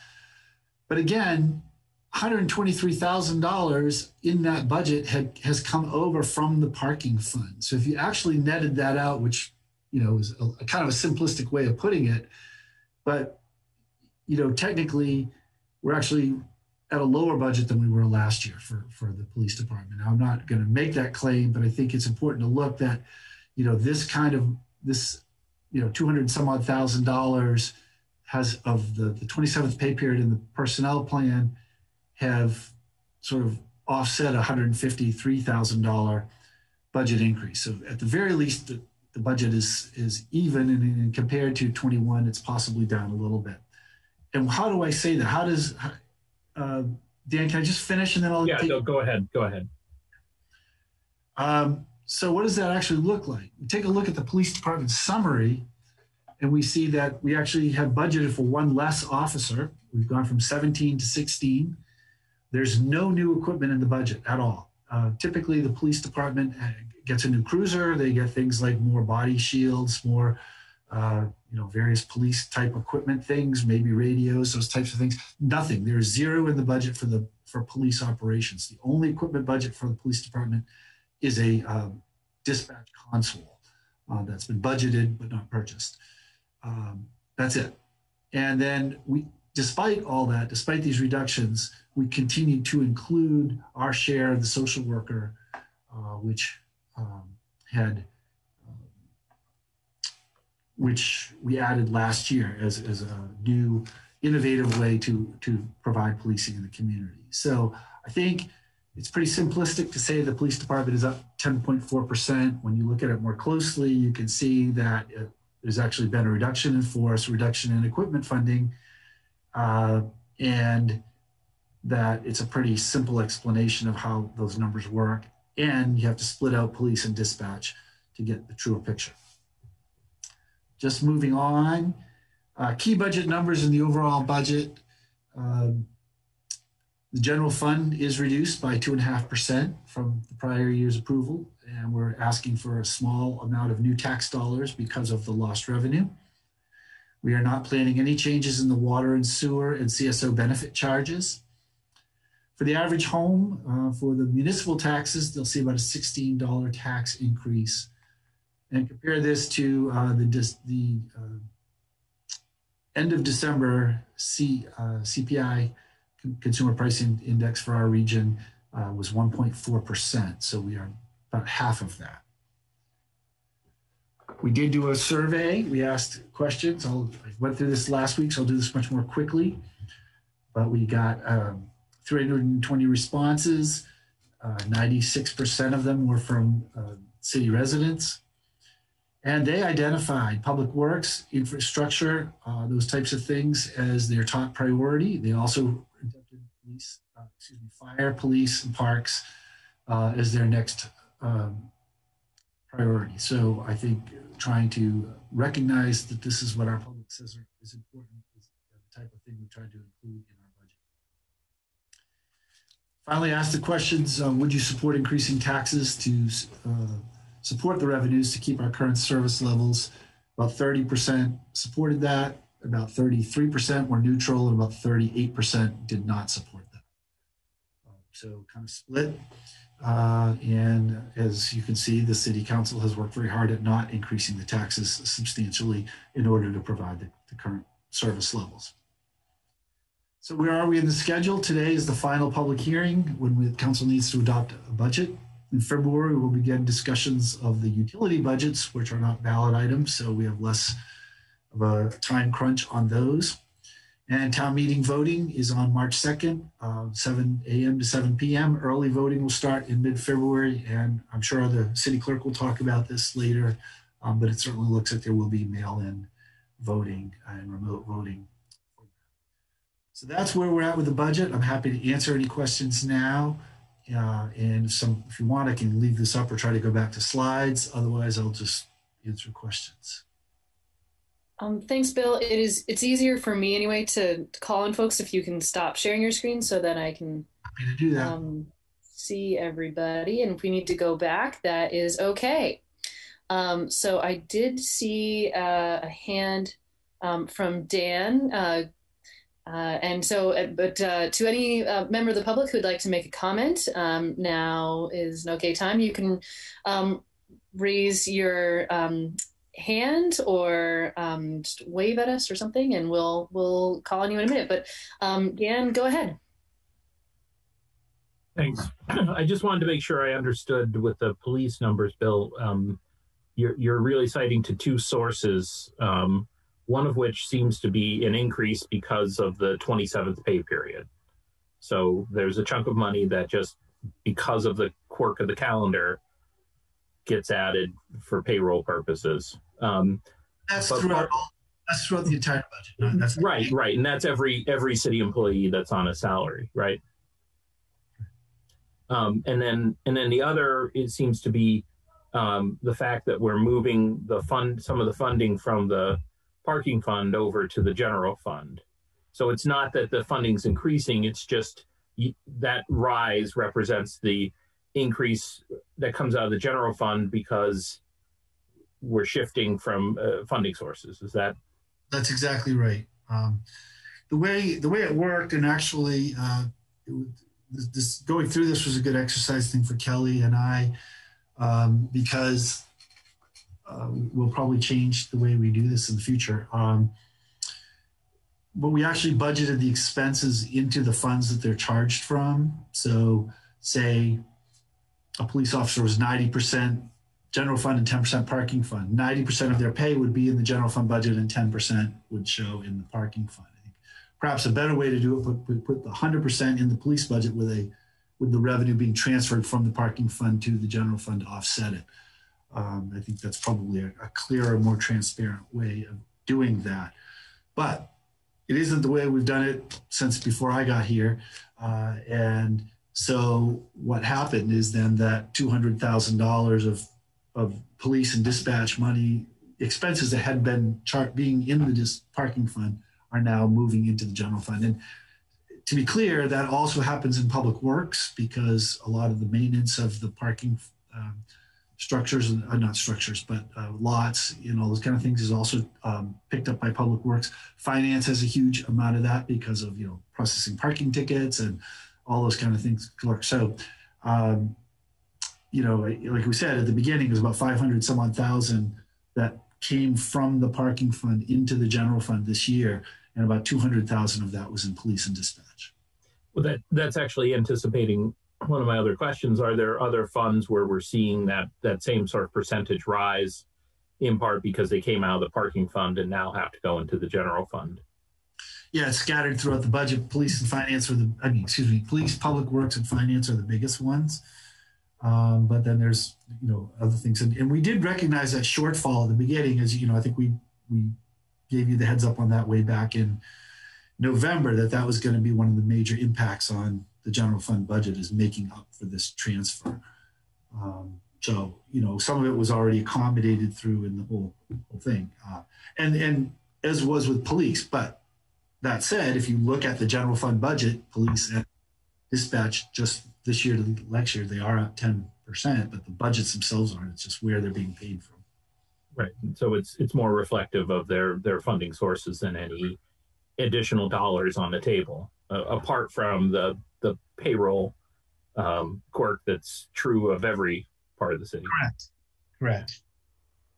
Um, so I and and just sorry, just to maybe make bring back one one of your points, just to be clear, there would there are other accounting methods that if you had done it that way, this wouldn't even necessarily be recorded as an increase because of the uh, you know, if, for example, if the police w- were expenses were simply booked to the police in the general fund, we Well- wouldn't necessarily even capture this. Yeah, it would look differently um, a little bit. Um, that hundred, whatever. Well, I think it was for two hundred thousand of the combination police and dispatch.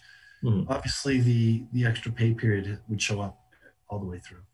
Okay, thank you. Great, thanks. Um, all right, I see a hand from uh, Sarah Parker Gibbon, Givens, and then uh, Lauren. Go ahead. Um, hi. Oh, and then, um, sorry, and then we'll, we'll also um, hear from Abby after Lauren. Okay, sorry. Thank you. Go ahead, Sarah. Um, hi, my name's Sarah Parker Givens, and um, I live on Terrace Street in Montpelier. Um, I live and work here, and um, I'm here to speak as a community member and as a taxpayer. Um, I, I think it would uh, it puts it mildly to say that I'm disappointed in in the proposed budget. Um, I was looking at page 14 and, you know, if you look at these figures, um, you know, 3 million for police dispatch. And even if you separate dispatch, you're looking at like just over 2 million for police. It's the largest number in this budget. And then you go down to community, which is at um, just over 500,000. Um, or say if you look at the senior center, which is at 134,000, um, which the senior center I know provides um, valuable services to community members. Um, so just looking at these these numbers, I guess um, it just raises questions for me. Uh, two two questions, and and I would hope that it would raise these questions um, for you too as council members. You know, why are we investing so heavily in police? Why is the largest money going to to police? And um, and why are we not investing more in community services? like like affordable housing like food security making making sure people can eat making sure people have a roof over their head um, you know education human services um, yeah so i would respectfully ask you to um, to not approve this budget thank you Okay, thank you. Um, Lauren, and then uh, Abby, and then Constantinos. Yeah, I just um, I can comment more later, but just on this point, um, I know that a couple kind of concerns last time had been raised, and it, it might be in the in the vein of Sarah's comment as well. Just there was not a philosophical or a different charge given to the police department compared to every other city department. Like there's been this kind of um, assessment based on the quirky numbers for the year that we asked for austerity from every department, but then we increased the police budget. And I, you know, Bill just went through the details of why that was not the case, but I, I just feel like like I, I'm confused looking at all of it. So I imagine some people are still a little confused, but just we were given, you know, across the board, every single department I think had similar, you know, holding positions open and a similar outcome, um, including the police department. And I, you know, I hear the the concerns and would just um, again say that there is a, a deep dive going into um, understanding what are we spending on our police, um, what are our police spending their time doing, and a whole bunch of questions. And that analysis is happening at the police review committee that I encourage everybody to attend and participate and help shape um, the the vision and uh, the the recommendations that that committee is going to be making. Um, it's not ready right now, um, but that is happening. So I hope people will get engaged in that, and happy to share um, the details of how people can do that. I'll weigh in more later. Thanks. Thank you. Um, Abby, go ahead. Hi, my name is Abby German. My pronouns are they, them, and I live in Montpelier, Vermont. Um, after listening to your rebuttal last week and tonight regarding the public outcry to defund the police, I feel deeply disappointed with my city leadership. apart from the fact that the city council manager or budget manager created the budget behind closed doors, which is a whole other issue, a claim that you have made is that the city is not really increasing the police budget from last year. It only appears that way, while it is really remaining the same. Remaining the same is not enough. It is unacceptable to continue to fund an anti Black colonial institution that originated as slave patrol. And for you to think that this is somehow acceptable is incredulous to me.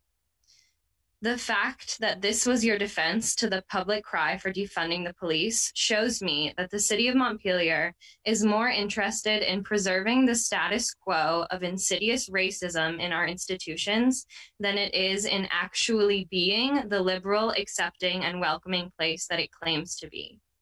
I fear that white exceptionalism is plaguing the council, the belief that somehow our town is different or our police are different than others in our nation.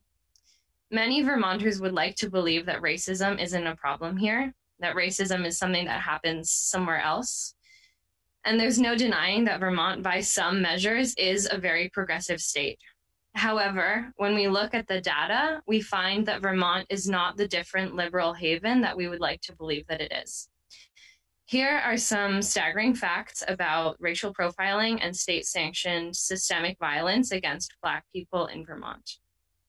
Vermont currently leads the entire nation with one out of every 14 adult Black men incarcerated in our state. Recent data from traffic stops shows that after being stopped, Black drivers are four times more likely to be searched than white drivers, although white drivers are more likely to be found with contraband. And Black drivers are two times more likely to be arrested. Black people make up only 1.4% of our state's population, while making up 8.5% of Vermont's prisoners. This data shows me, and hopefully shows you, that whether we like it or not, Vermont is racist. And it's past time that we take an aggressive stance against systemic racism beyond the performative allyship of painting Black Lives Matter outside the State House. It's time to show up for Black people in our actions and values, and that starts with defunding the police. So, echoing Sarah, I would ask the council not to approve this budget without significantly defunding the police. Thank you. Thank you. Um, Constantinos.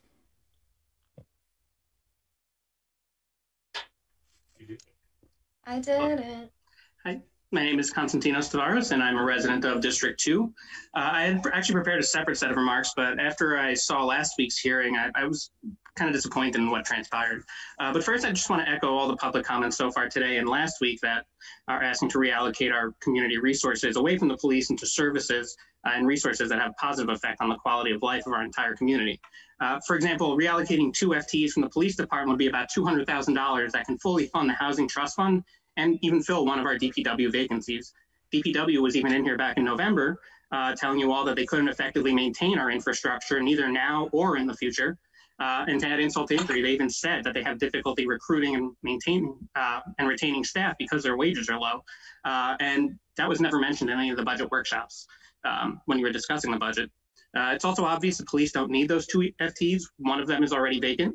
Uh, we can probably attribute that to the SRO position not being funded, but the other officer is the one collaborating with uh, federal um, law enforcement, which again isn't providing services here in our community, but assisting federal law enforcement, whatever it is they do, whether that's tearing apart families and putting children in cages and whatnot. So, um, you know, and working with the feds is also uh, contradictory to the department's fair and impartial policing policy.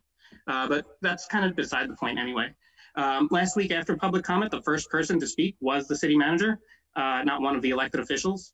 So this rebuttal before our elected officials uh, got a chance to speak, I feel kind of poisoned the discussion because I think it's hard to go up against someone in the administration uh, when they make uh, remarks. that I don't know how comfortable you would feel if your boss or someone that you really respected said something and you opposed it. I don't know if you want to oppose it publicly. Um, something else was um, in December, uh, the city manager held a budget congress with his staff, uh, if that's correct, right? Yeah. So I, I believe that's where most of the budget decisions were made. Um, and that, that Congress was not open to the public. There were no minutes, no notes. Uh, nothing was ever released to justify those decisions made. The council never questioned any of those decisions in the base budget. And you, it seemed like you spent most of your time discussing small changes like the homelessness task force and other items labeled as other services. Uh, and the city manager even suggested he make those changes in the narrative. The budget options worksheet you were provided also doesn't give you the option or opportunity to consider any of these, uh, any anything in the base budget other than the other services, with the exception of the capital plan. Even today's presentation is just an accounting method difference, as Councilor Richardson explained, uh, and not actual or reflection of the increased budget for the police. So sure, it might not have been 10.4% that it increased, but it still stands that other departments have been effectively reduced or level funded while the police department was still increased. So it seems no one really wants to stand up and hold the city manager accountable for his decisions he's not elected, and there's no way for the public to hold him accountable. That's your job, council and mayor, uh, and it, it, doesn't seem like you're doing that. Uh, and I hope you don't take this as a criticism of the city manager because it's not. I think he's doing a good job, uh, and he's in a situation where he needs to be taking direction from you, uh, the policymakers, uh, and that's what he's doing. But it seems you're not questioning him uh, and asking him for justifications of his decisions. So this is on you, city council and mayor, to make sure that unelected officials are actually being transparent with the public and accountable to us. So for me, this budget was created in the dark. It was never questioned by those of you charged with policymaking power and actually fails to provide resources and services to our community in times when it needs it most. It doesn't even address the goals and priorities contained in the budget document itself. This is not a budget I can vote for on town meeting day. Uh, I'd also like to point out that you didn't even try to, you know, entertain any adjustments to the budget today based on any public comments made as made because the language and numbers for the budget is already included in today's agenda. Um, and to my knowledge, based on any of these public discussions that I've been following, there have been no adjustments to the budget based on any comments from the public. So it seems like you know the actions that you've been taking have shown that these budget hearings and public comments in general to you are really kind of a farce, since nothing changes from them.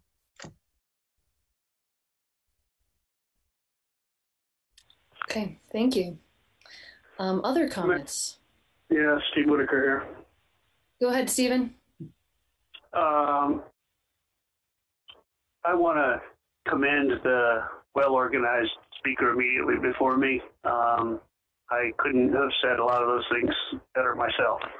Uh, the fact that, let me use as a, a, a comparison. Uh, our Senator Pollina got some statute inserted in the state budget, which is being ignored, um, but it requires active participation in the budget development process to get the priority of the public's goals embedded in the budget.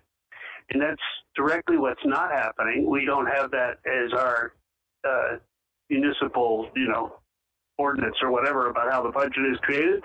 But that's in effect what the prior speaker was asking for, that we define the priorities of the budget and not just let the city manager do it.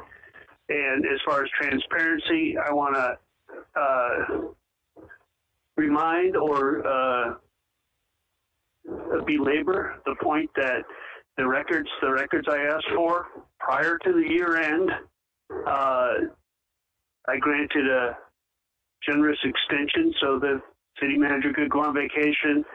He comes back, he produces some records uh, a couple days ago and in what those records, I find that he just subbed it out through Kelly to this V30 contractor who used useless uh, search terms and didn't even apprise me or run those search terms by, such as console or Motorola. So this, that was all useless. And and Bill has to start it, the search again today. Uh, again, I recommended both console and Motorola. Uh, he, he put Motorola in and ignored console and said, I'm doing it again. But I'm not prepared for tonight's public hearing because of that lack of transparency and lack of competency. And that's just really unconscionable. Um, I, I'm not going to belabor the point because it starts to get personal. But I want to point out that I have done more research on that issue.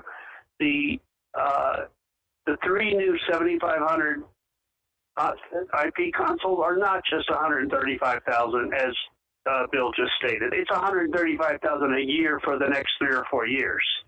Okay, so this is a three or four hundred thousand dollar commitment. prior to the Televate independent expert assessment of what our needs are coming in. And that's just irresponsible. It also, the only need for those IP consoles would be if the the main feature of the IP switching is that it can immediately switch to a remote site, such as our backup site, if Barre is willing to be our backup site. But Barre is nowhere near voting or approving uh, that kind of expenditure in this year's budget. So we're proposing to prematurely buy these consoles uh, that have not been uh, vetted or analyzed by anyone other than take take Bill's word for it, take Fred Cummings' word for it. That's that is unconscionable. The, the, the few documents I've pulled out of public records requests show that the planning was not done. The need is not there. We bought new consoles five years ago. CVPSA paid for one of them. Those consoles have at minimum a 10 year life. You can even squeak 10, 15 out of them. Motorola has discontinued them in favor of the new one, but a Motorola rep was is on record speaking to a public safety authority saying, buy a few spare parts, you'll get five more years use out of those.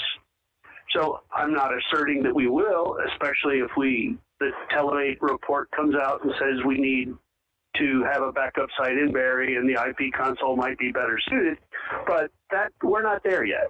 So to be funding new equipment, which Bill says we're not funding new equipment, at 135,000, which is only the first down payment of three or four years, uh, is really irresponsible. And I, I agree that the way we've got our process organized, we don't take input at the budget congress or whatever you call it, the back the private meetings, that in effect it's the hurdle, the uh, it's not a rebut it's a rebuttable presumption that everything's just fine and I hadn't given all the testimony and others last budget hearing and it's like thank you. Go uh, vote to approve.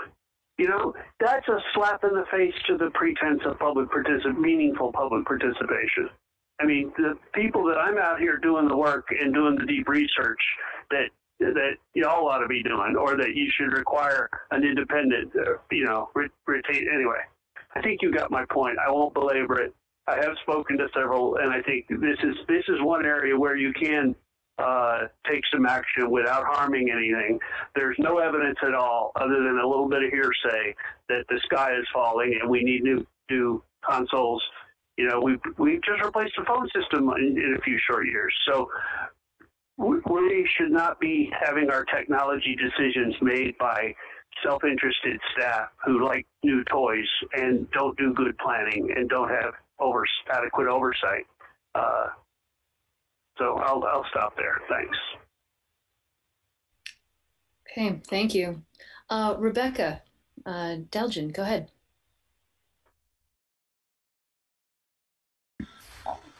Um, hi, my name is um, Rebecca Dalgan, and um, I live on Greenwood Terrace. Um, I use she, her, uh, she, her pronouns. Um, and I wanted to express my deep concern over the large amount um, of our taxpayer dollars that are going to funding the police.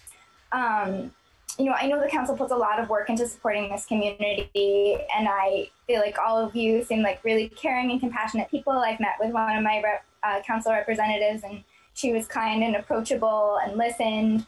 Um, and I, you know, I love to, I loved hearing about the community fund, and you know, these are things I love about our community. And um, I am just sort of devastated with how the conversation around policing has, has gone. Um, and honestly, really feeling really angry about it. And tonight, uh, particularly feeling angry as I've been sort of trying to research what was going on with the police and the budget and trying to get my ducks in a row to um, speak coherently to all. Um, and uh, being interrupted by my two year old uh, constantly. And I think then I just started feeling uh, more angry and, and heartbroken because um, what I was really thinking about um, is knowing what it's like to be a parent with the, all the worry and heartache and joy and lack of time that comes with that. And then not even being able to imagine what it would be like to be a parent of a black child, but just thinking, what if on top of all of that, all of those things, you had to tell your child that like their life, um, you know, they had to fear for their life and their body um, from the from from an institution that theoretically is protecting us. Um, so um, to see this budget is, is, devastating, and I think it's hard because what I've seen over and over again is people come to these council meetings and and speak about the kind of reform we want, and the response that I feel like we've been getting, um, to me, has felt kind of has felt paternalistic and and paltry, and um, you know what I've seen is that um, we've gone on uh, you've gone on to create the um, the committee to look into the police, um, which I felt excited about. But then I, I was disappointed when I found that um, that uh, the, the, selection of the people to be on that, a lot of that decision making uh, was done behind closed doors, um, and that not one of the people on that committee uh, was someone who had expressed a desire to abolish the police. Um, I was really pleased to hear tonight that um, Abby German will be joining that committee um, I do find it disconcerting that the objectivity of someone who might be an abolitionist was questioned when that same line of questioning was not, uh, at least during this forum, extended to the other person being considered to join the committee.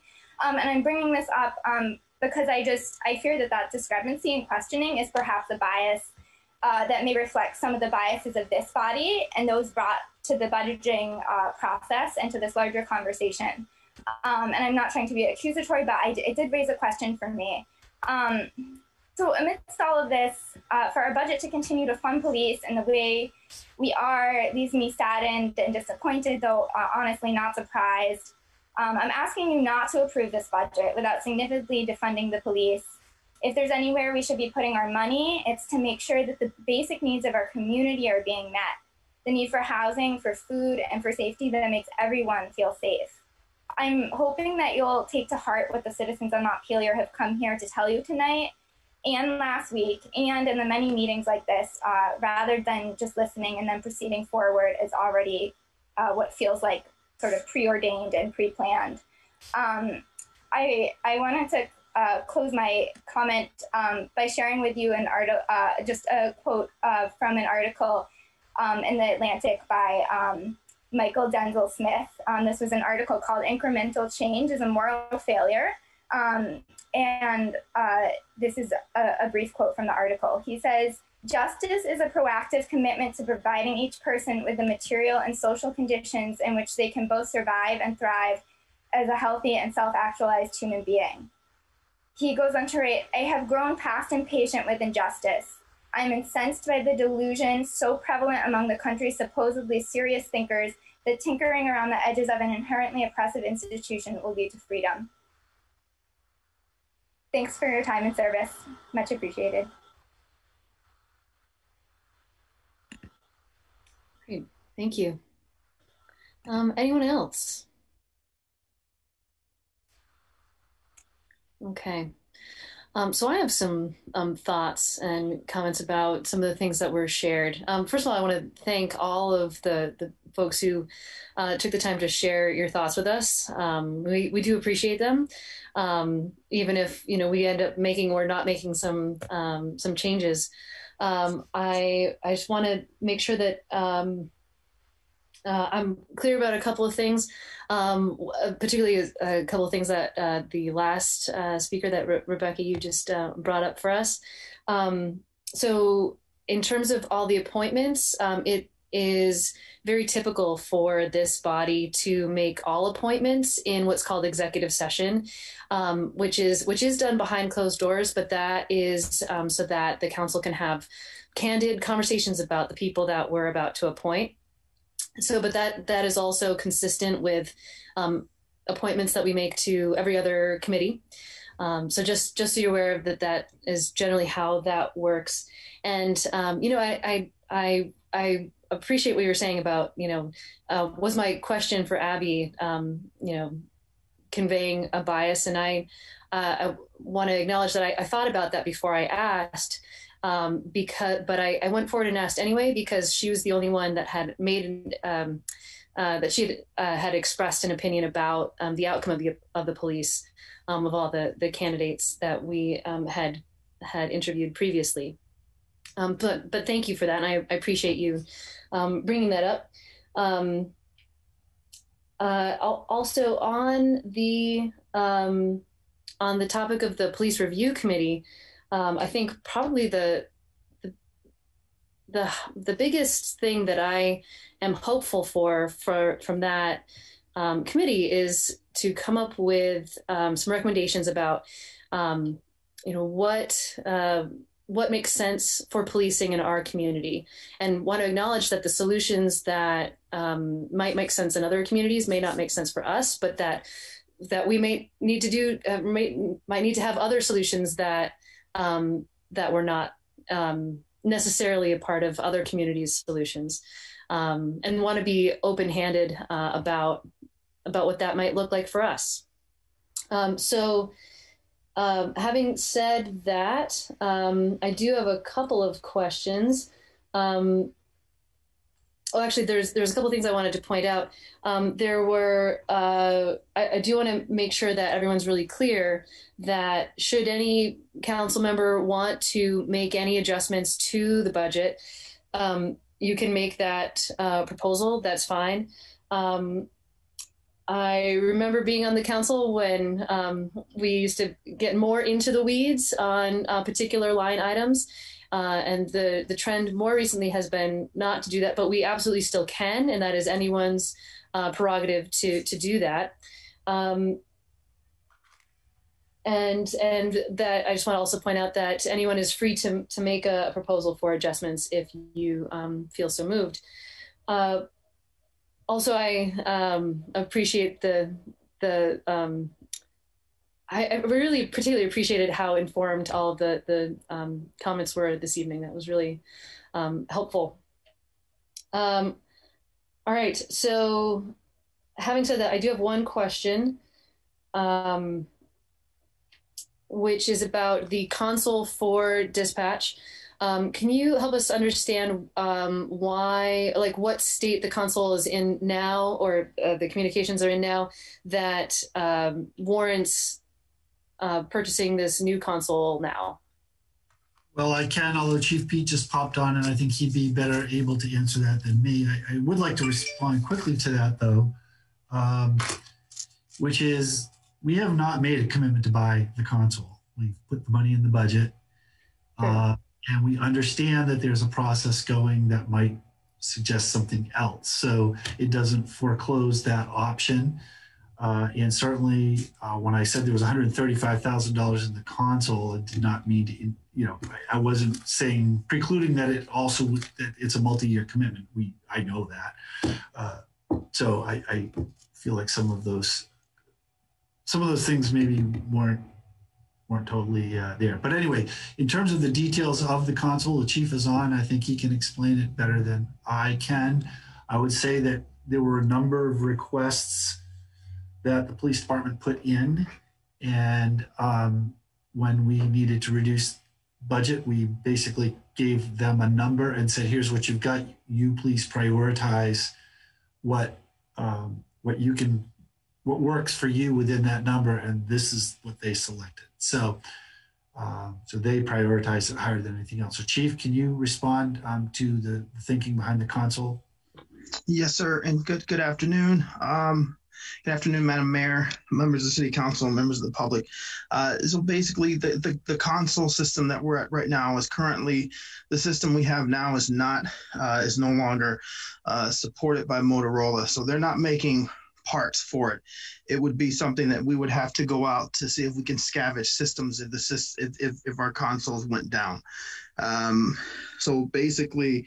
Uh, we, we've had a couple of instances that we we had a scare um, and then this is how this is this is when it came to light. It was something that wasn't on our radar until a few months ago when we had a potential scare.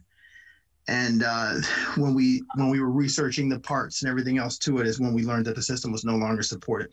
So basically, as it stands, uh, if the system goes out, uh, we we have no way of communicating uh, via dispatch. Uh, with our console systems.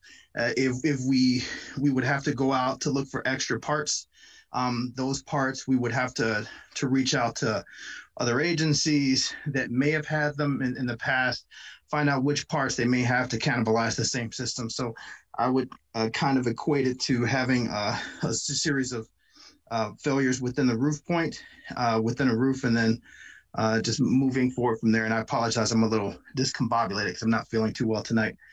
Um, but but yes, essentially that that's where we are. So if we if our console systems go out with dispatch, we we lose all ability to to communicate outside, to be dispatched to calls, to get uh, pretty much essentially everything with you know for 911 functions.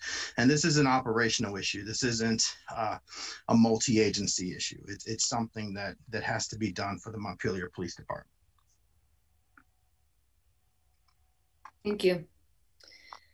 Um, other thoughts or comments or questions? Yeah.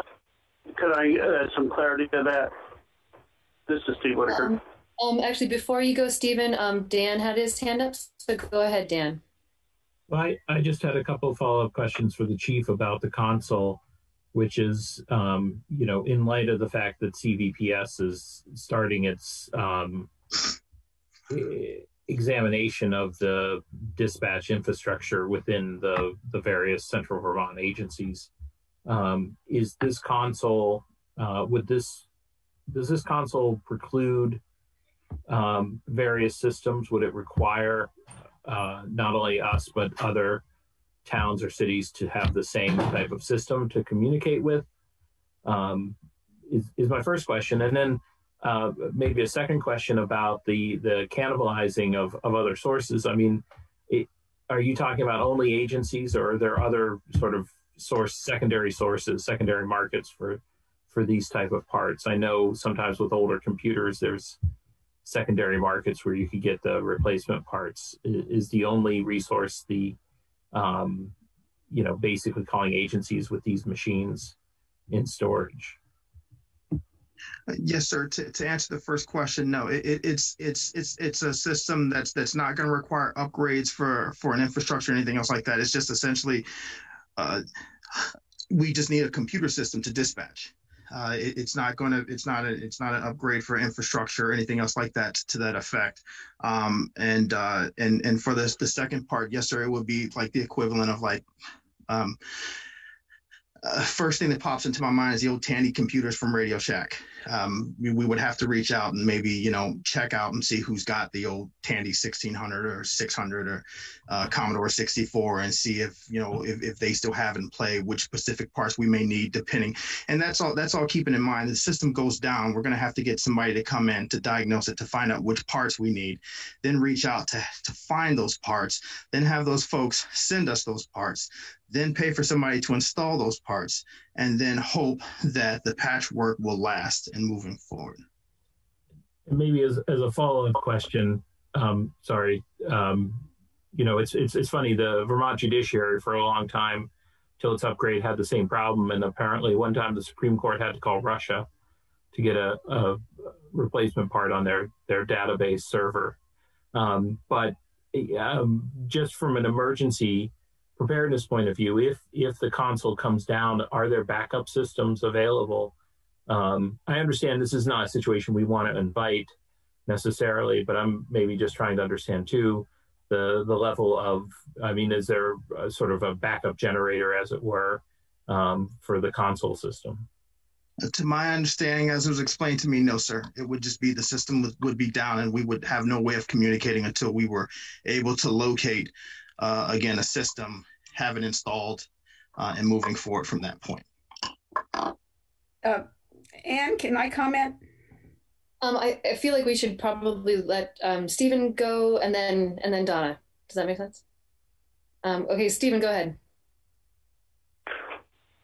Okay, uh, I have I mentioned this at the last hearing, and I don't, and I've offered the, the paper documentation. Nobody's asked to see that, surprisingly.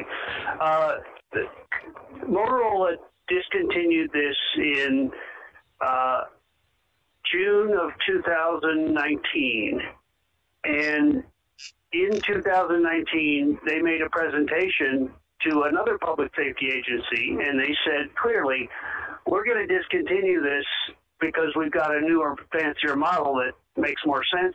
They were also quietly making plans to buy the only competitor. If we really needed new ones, Avtec was just purchased. They're a lot cheaper than the Motorola's, and they're now owned by and supported by Motorola. But that's the base. The Motorola rep advised that public safety authority, you can get five more years out of this, buy a couple spare parts. Uh, the chief is woefully uninformed about this, and it, that's troubling uh, because of the reliance we put on that department, which means he's totally dependent on Fred Cummings. These are standard compact computers, the, the standard little $800 desktop desktop or power computer standard power supplies you can get down on the Barre Montpelier Road that swap out. So th- this is not rocket science. The only thing special about these is the Motorola software, which they actually bought from somebody else. So this you're being misled, and I'm uh, not saying intentionally by the chief, uh, but the idea that this would just be down. No, it you you we have three of the three of the consoles. If one of them goes down, the other two can do the dispatching while one power supply is swapped. I can swap a power supply in about 15 minutes. Been doing it for years. So this I, this idea that the sky is falling, and this isn't 911 either, by the way. This this is dispatch. 911 is handled entirely by the state since Doug Hoyt took Montpelier out of the public safety answering point business. So we need some institutional memory. We need some professional engineering advice that y'all will believe because obviously you're not believing me and I'm not believing the chief. So, because uh, I know more. Uh, I'll stop there. Thanks. Okay, thank you, um, Donna, and then uh, Bob. Uh, Bob, you want to go first? No, go ahead. Okay. Well, I my understanding was when Public Safety Authority bought one of the three consoles for Montpelier. We also bought one for Barre, so there would be redundancy, and Barre and Montpelier would both have this particular model and could depend on one another as backup. And so if one upgrades, you no longer have that. It does impact one console talking to the other. The other thing, I really came tonight wanting to discuss removing this 135 from the budget because I feel there are a lot of questions that haven't been answered I do think it's important that we actually do consider in three months that the Public Safety Authority will have finished this need assessment and making its recommendations so that it would be done with more clarity and appropriateness. I feel we could put it back in should revenue go up, should we find out all the questions that I now have, and we clarify things and then act on it. But for right now, I'm inclined to take it out of the budget. Thank you. Um, Bob, go ahead. Yes, I just want to remind folks um, there's been a lot of discussion tonight about a failure of one of these systems and how the impact it would have on police communications. And I know uh, Chief P can speak more to this also, but a failure to one of these or any of these uh, consoles could have a major impact on police, uh, I'm sorry, fire or EMS, dispatching, communications, um, if if one of those systems were down and we were to have a major mm-hmm. incident in Montpelier or any um, of our 18 communities that uh, Chief Peete dispatches for, a failure of one of those systems could have a major impact on those services. I want people to keep in mind it's not just police communications, it's fire and EMS communications also. Um, Bill, go ahead. I just need to point out that you are not actually approving the purchase of this tonight. You're simply allocating a budget uh, and for a contract of this amount with the financing, everything else it would actually come to the council at some point. So presumably, uh, this decision is something that can be talked about at a later point. If the CVPSA um, were to um, come up with an alternate solution. Presumably, we would need funding to purchase whatever that alternate system was going to be. Uh, and as I mentioned, there are certainly plenty of unmet needs, uh, equipment needs uh, throughout the city.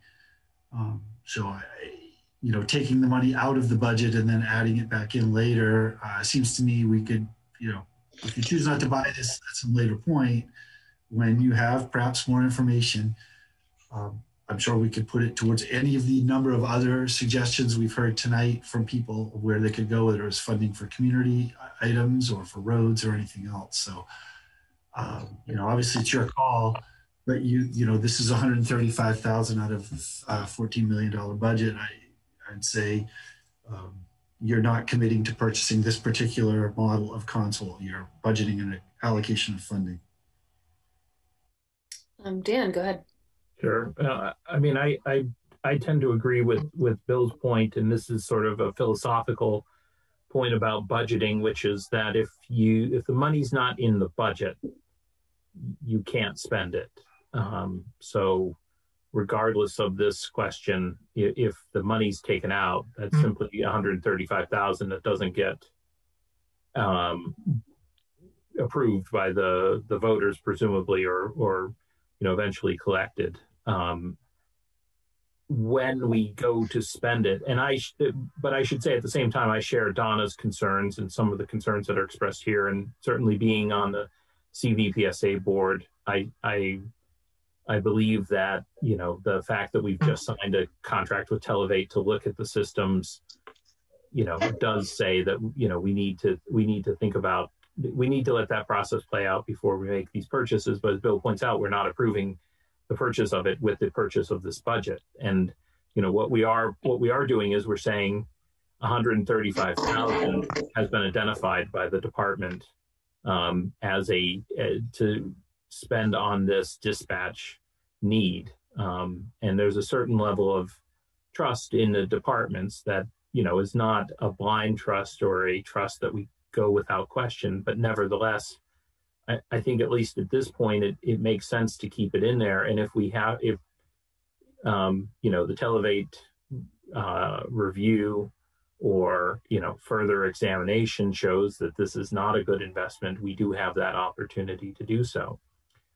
And it touches a little bit upon, I think, you know, one of the earlier points of what people were talking about, which is, you know, the the budget process. And I've been through a number of these in a number of different towns. Um, you, you know what we're what we're planning in some ways is a big single number which is the budget that we're allocating. And we're trying to identify and we're trying to be careful and thoughtful about it in a city with this many moving parts. And as, as bill points out you know this is a multi-million dollar budget. So you know um, haggling over 135000 is a, is important because it's more money than i'm going to see this year um, and that any taxpayer is going to see this year just about. But it's still it's a small small part and um, I think you know this is the difficulty of, of the budget process is that we do rely upon professionals and we do re- rely upon their advice and judgment, and that's why we hire. That's why we have a, a, finance department as opposed to an elected city treasurer who does all of the budgeting finance. We we ask for professionals because the numbers are big enough and complicated enough that we want to make sure it's in trusted trusted hands, and I think we benefit from that as we saw tonight with the audit.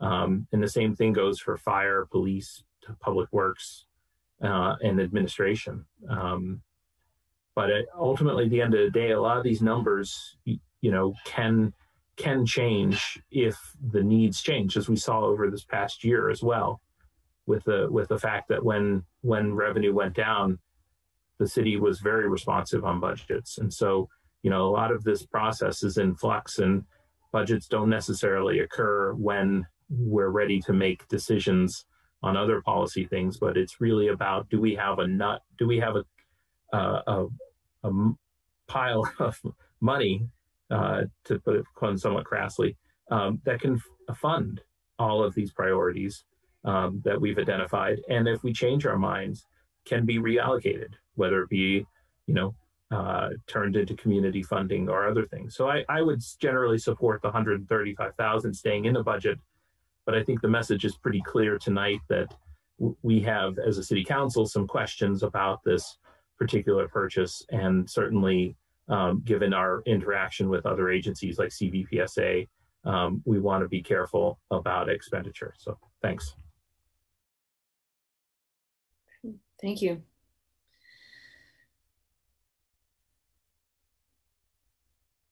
Um, so just speaking for myself, I tend to agree with Dan on this one. Um, it also feels like I uh, the, the kind of thing that um, I would not be inclined to gamble with, um, and that if there's a different model to be purchased, that there's still time to make that decision, um, and rather anticipate um, having the funds to to purchase something like that if um, you know should it be necessary. Uh, so, sorry, I, am speaking for myself here. Um, other thoughts or comments? Uh, Jack, go ahead.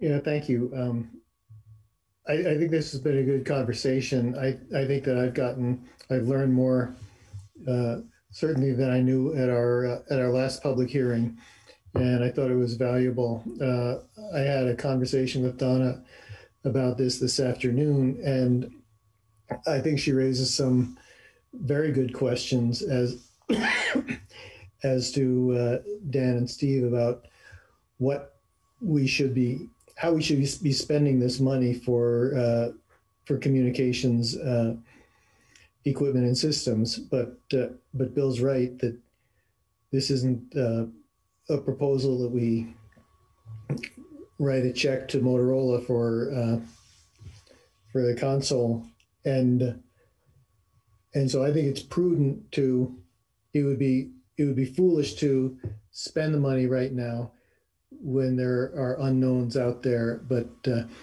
I do think it's prudent to include it in the budget so that as uh, more more information becomes available, the CVPSA study is completed, we'll know what to do. Um, so that's how I feel about this particular item. Thank you. Um, other thoughts, comments? Yeah, very briefly, Madam Chair, a clarification. This is only this is a three or four hundred thousand uh, dollar commitment if it gets made. The Motorola correspondence, which I got from emails, they were offering no payments for a year if you commit, and then first year at the end of the first year is when the 135 comes due.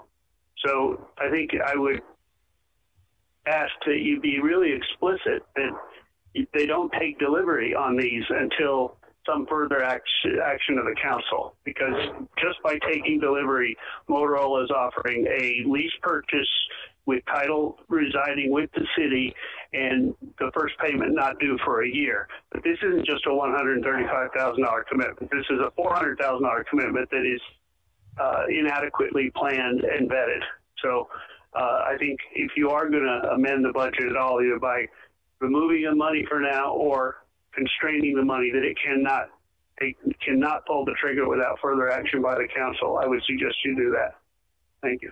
Thank you. Thank you, Stephen. Um, Jack, go ahead. And then Bill.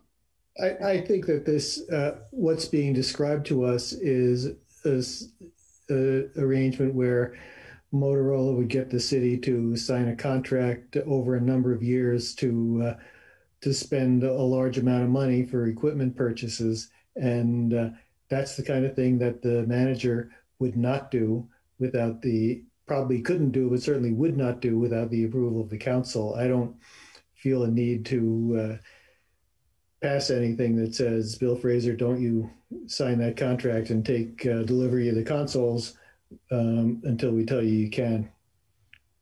Yeah, that's exactly what I was going to say. The uh, some multi-year financing agreement uh, for this level of money would require council approval, so we could not make that commitment without explicit vote of the council. Um, furthermore, I just also want to remind people that we're talking about funds that aren't available till July 1st. Um, so again, that's six months to evaluate choices. Uh, I don't know what the CVPSA schedule is, um, but anyway, so that you know they may not be that far apart. Great. Um, Donna, I do want to circle back to you. Um, if you uh, would like to make a motion, that is certainly your prerogative, if you would like to. I don't find the support in the council, and I'm not surprised, but I am glad we had the discussion. And I certainly think we do need a clarifying. Have I frozen? Can you still hear me? Yes. So, uh, so uh, you know, I'm glad we had the discussion. I, I would like to say something to the other speakers tonight. Can I do that now? Can you hear me, Anne? Absolutely, go ahead. And, and that's just, I mean, you sort of Yes, said it. yeah, absolutely. Go ahead. Sorry, I'm my internet is cutting out. I just wanted the, the people who showed up to the hearings are appreciated, but we do have other residents who talk to us, and we are trying to balance what the whole community wants as well as trying to nudge it in new directions. So I, I feel very good that we put the peer support counselor in, that we have the social worker, the equity consultant, and I do feel we put money and efforts in housing. And I just keep thinking, we'll just keep moving and moving in that direction. So please support the things that are supporting your ideas behind reducing the funds in the police, but and help us make changes. Um, that's all. But thank you for coming. Thank you. Other thoughts or comments?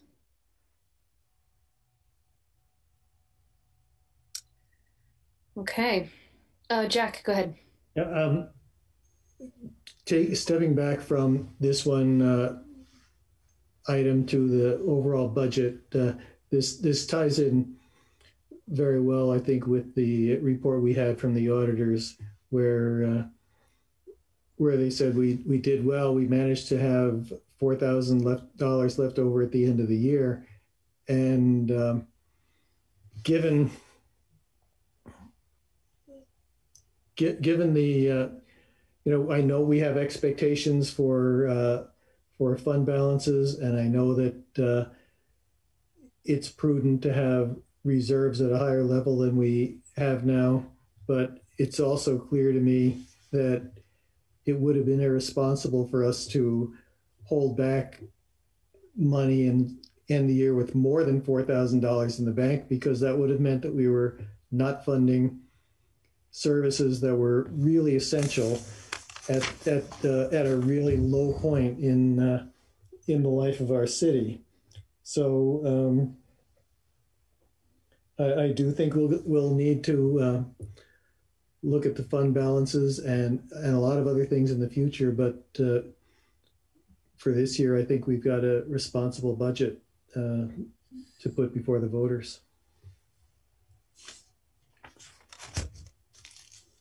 Okay, thank you. Uh, all right, any other comments or questions about the budget? Okay, I am going to um, close the public hearing um, for this. And uh, is there a motion? Uh oh. Sorry, I, I, glitched there a little bit. Um, I'm going to close the public hearing. And uh, is there a motion? Uh, uh, Jack, go ahead. I move the uh, that we adopt the budget and put it before the voters, including the uh, allocation from the uh, Vermont or the Montpelier Community Fund. I'll second. Okay, so there's a motion and a second. Um, any further discussion? uh, Lauren, and then Dan. Yeah, I just wanted to re- reiterate. Um, I'm really appreciative um, to the the city staff. We had given direction to, you know, look with really tough numbers, a lot of hard decisions. Um, really, you know, just echoing things we've discussed at previous meetings, but you know, centering our staff and trying to maintain uh, you know people in the positions to maintain services to keep a focus on uh, services we're providing for the community and um, and then trying to plan for you know what kinds of opportunities might come if additional funding comes in and how could we be positioned to take advantage of that and i think there was a lot of really good thoughtful uh, thoughtful work and um, really trying to to center the the people in our community and the people on our staff in it. And I think the the staff did a great job trying to strike that balance. And it's a very,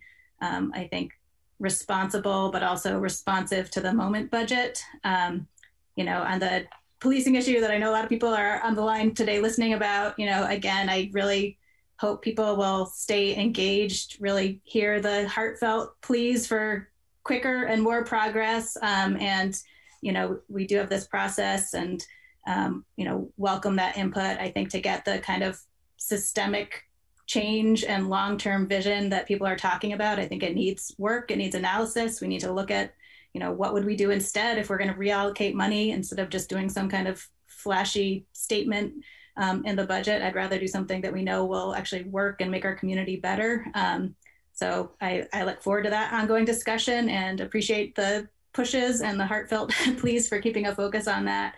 Um, I know I plan to and look forward to that work and hope to have people stay really engaged in that. Um, but I'm really appreciative of the budget um, that has been put forward and um, will be supporting it. Thank you. Um, Dan.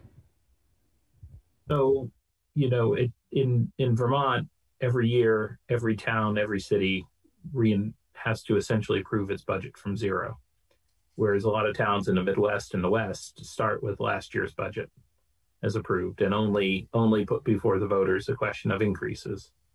Um, you know, I think it's a it it's a process that um, forces us to really look each time. And um, I'll say that one surprise about this budget, um, and it's really a credit uh, to the staff that that did take our direction and policy choices to heart, um, is that you know this is a budget that I, this isn't necessarily a budget I would have thought would have gone the the way it did. I would have expected, as as in as I've seen in prior years, um, you know, points of of contention, more more more consoles and fewer points where we um, sort of had agreement.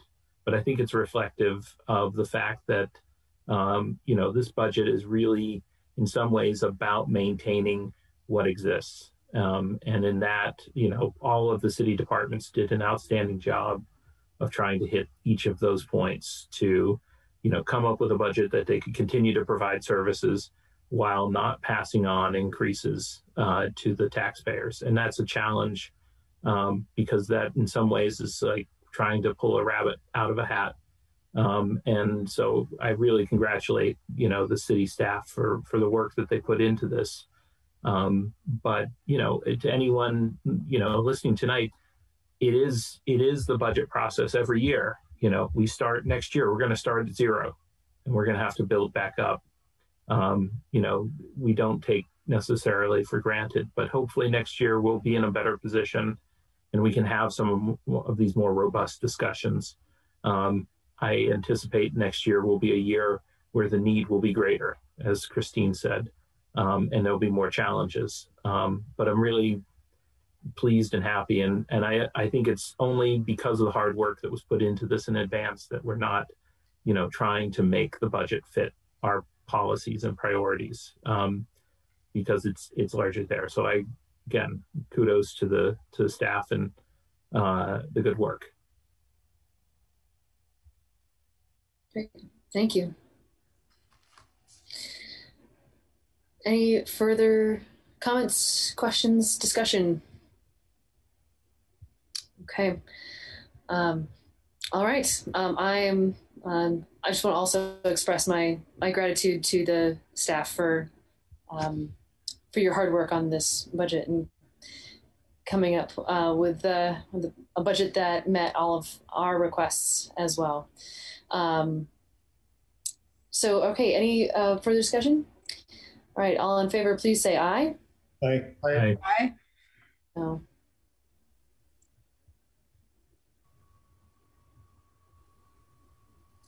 Oh, no, can you hear me? Oh dear. Okay. Can you can you hear me now? Yes. Okay. Yes. All right. Um, all in favor? There's a motion and a second. All in favor, please say aye. Aye. Aye. Oh no. We all said aye, Anne. I'm I'm still glitching. Do we have to vote for it again? They all voted. We all voted. John's got it on the no- minutes, right, John? You did vote. Okay, great. um, is as it time anyone for a break?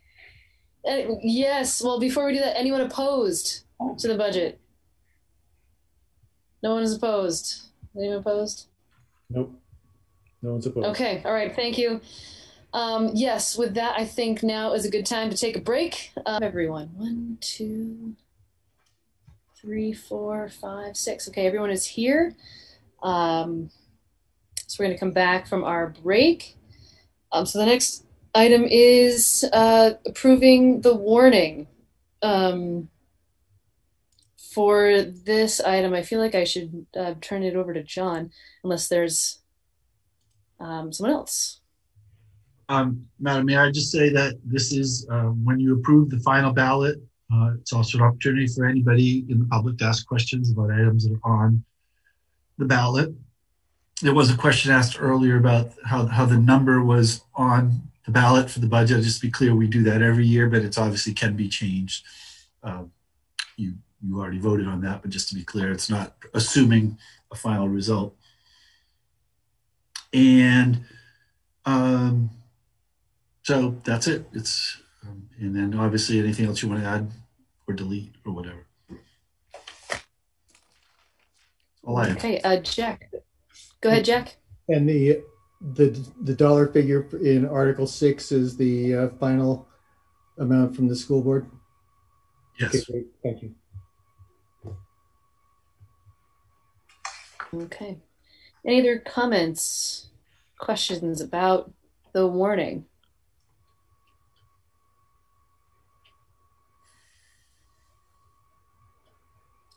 If you're looking for a motion, I Sure, go ahead, Dan.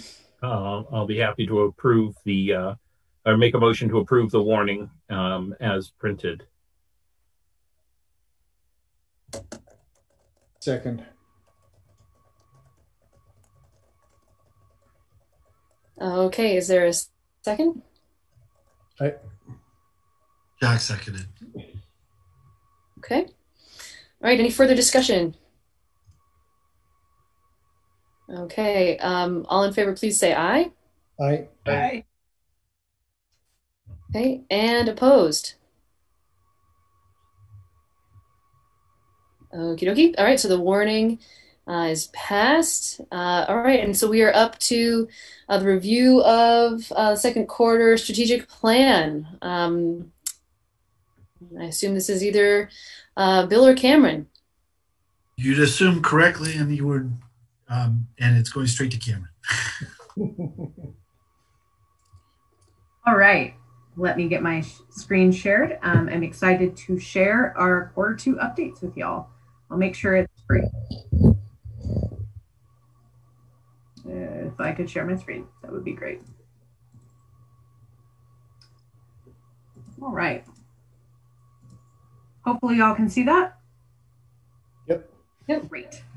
So um, we have come before you in uh, last couple months to give you our quarter one update, but um, we've done a lot since then. So this is going to be an update on what we have done um, since the first quarter report.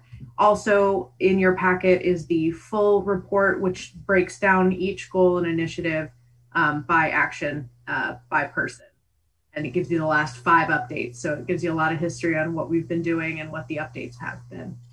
But as a reminder, your strategic goals that you voted on to include in your strategic plan by a majority vote included community prosperity, COVID 19 response, environmental stewardship, more housing, responsive and responsible government, and sustainable infrastructure, which is, again, sort of what we have worked on as staff um, to prioritize um, in our work, in our work plans, and in our budget. So I'm really excited about our quarter two status. Um, we have hit 43% progress in our initiatives in the strategic plan, which is great. When I came to you first quarter, we were at 14%, which was a little behind sort of that 25% goal for each quarter. Um, we've got many of our, a majority of our initiatives are on track. We have a few delays, but most of them are COVID 19 related. Um, I'll get into that a little bit further. Um, and a good major, a good uh, quarter of them have been completed. So we've completed a fair few um, initiatives right on schedule for what they were anticipated to be. So we're very excited, um, very close to our goal of 50% completion for this update, which is great considering the challenges a lot of the staff have been up against. So I'm going to jump right into the goals and give you updates on each initiative. If you have any questions, please just go ahead and stop me. Um, so under community prosperity, one of the goals uh, are the budget process, which we've sort of just rounded the corner on for that. The status is great. We're doing on track with that. Uh, our new initiative since last time is we developed and implemented a survey that went live in December and closed in January. We had um, responses in the hundreds, as you heard earlier. Uh, briefings were given to y'all. The budget process has been, um, we think, pretty engaged this year. Um, the budget was submitted to y'all for consideration early December, and the warning was just approved. We also have all of the details line by line. Um, everything can be found on the city's website. So we have a few initiatives under COVID-19 response. All are on track right now. Um, the sort of the highlights from the supporting the community in the rebound from COVID-19 is that the city has received almost $200,000 in funding. Uh, most of that is um, money that we're receiving back. We've paid for it. We're getting money refunded to us, but we've been really continuing to work on our policies and our internal procedures around COVID 19. We did when the governor changed his travel policies and some other guidance about gathering. We did create new policies around leisure travel for staff so they have to let us know if they plan on traveling out of state. It's not saying that if they can't, just got to let us know. And we've been working very closely with our neighborhood partners, including the capital area neighborhoods, who've been very supportive of us getting information out in ways that we normally don't have access to. So they're doing more boots on the ground communication than we have the capacity for, which we really appreciate. Um, they've also since then really set up uh, neighborhood information kiosk, which I'm sure y'all have seen around. They're the sandwich boards in some neighborhoods with information on it, and that has been really invaluable for us. Um, as far as MDC and the Montpelier Alive partnerships, we've really discussed a lot of that within the budget process. The funding for MDC has continued to be an issue in this budget process, and the recommended budget had a zero dollar funding for MDC. I've moved on to environmental stewardship. We've got our net zero goals for the 2030 plan, and I think you know you got a little update on that before. But um, you know we you have awarded a contract to the Vermont Energy Investment Corporation for the net zero 10 year action plan. Um, so they're anticipating to come back in the spring. So that's very exciting. The updates to the stormwater master plan is sort of on um, it's sort of in status right now, waiting um, for further updates related to the committee reviewing the stormwater utility option. So that will be coming at a later date. So right now that is on hold until that comes together. Next goal is for more housing, the implementation of the city plan housing initiatives. Um, they've updated it to let you know that the housing task force has been meeting. They met in November and they don't currently have a work plan for their fiscal year for fiscal year 21 to dis, to discuss the budget. Um, they also, however, have been talking to both the Housing Task Force and the Planning Department about the Municipal Administrative Procedure Act, which um, is a sort of more stringent and um, more definitive path to getting permitting through. So there'll be more information and more um, presentations on that in the future, but let they just want to let you know that they are talking about that and what that means to implement. Um, so there's also uh, work on zoning to remove barriers for additional housing. And as you know, their recommended budget was approved for $50,000 for the Housing Task Force. So all that work is still on track according to their goals. Regarding responsive and um, responsible government. We have the lobbying subcommittee that is on track. Uh, the newest update is that our office, the city manager's office, is aiming to prepare a tracking tool to report on issues that you have voted for within your legislative agenda. So we want to make sure that we're staying on top of it so that y'all can stay on top of it.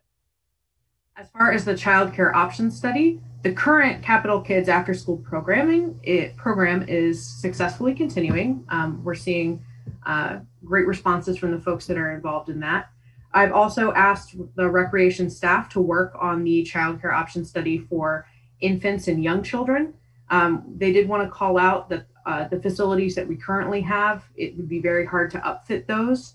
So I'm just sort of priming you for that report. But we're also going back to our contractors for the rec facility updates that we were proposing um, and try to work in maybe some of those childcare options to be able to support infant care.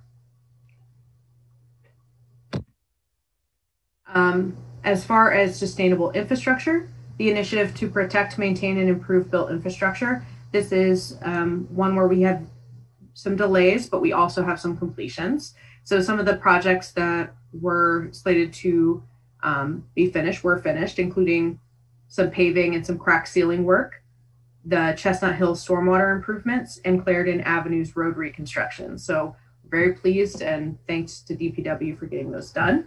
Their newer updates include that Taylor Street is waiting to install some lights that need to go up.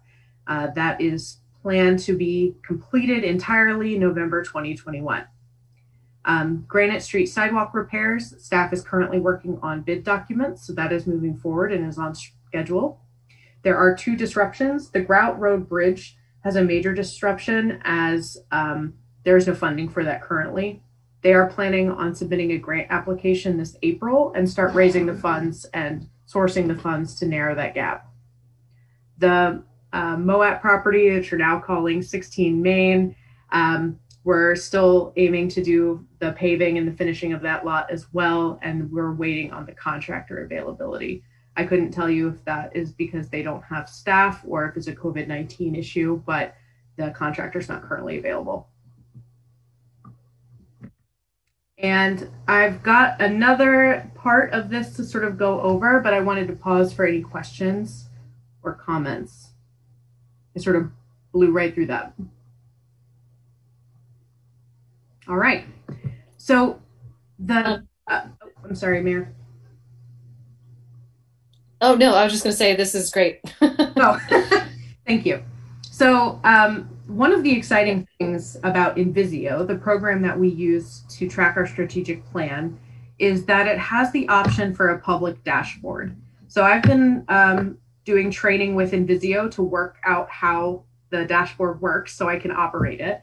Um, so I now feel comfortable bringing it to you as an option to go live. Um, so I wanted to preview it with y'all before it goes live. I wanted to give you this update before I update the website, but um, the public dashboard is really a way for our residents to get a look at what work we've done towards your goals um, that you've identified in your strategic plan. Um, it also allows uh, us to update as needed. So it's not like a live update. The thing is, it's sort of a misnomer to call it a website. It's just a it's a dashboard is what it is. So it doesn't live update. Like if I go in tomorrow and write an update on one of my initiatives, it doesn't show up on this dashboard. So that's an important note and a distinction to make. My goal is to update it so it shows all of the recent activities after I give you guys the quarterly updates. So it will be updated quarterly so folks can see it over time.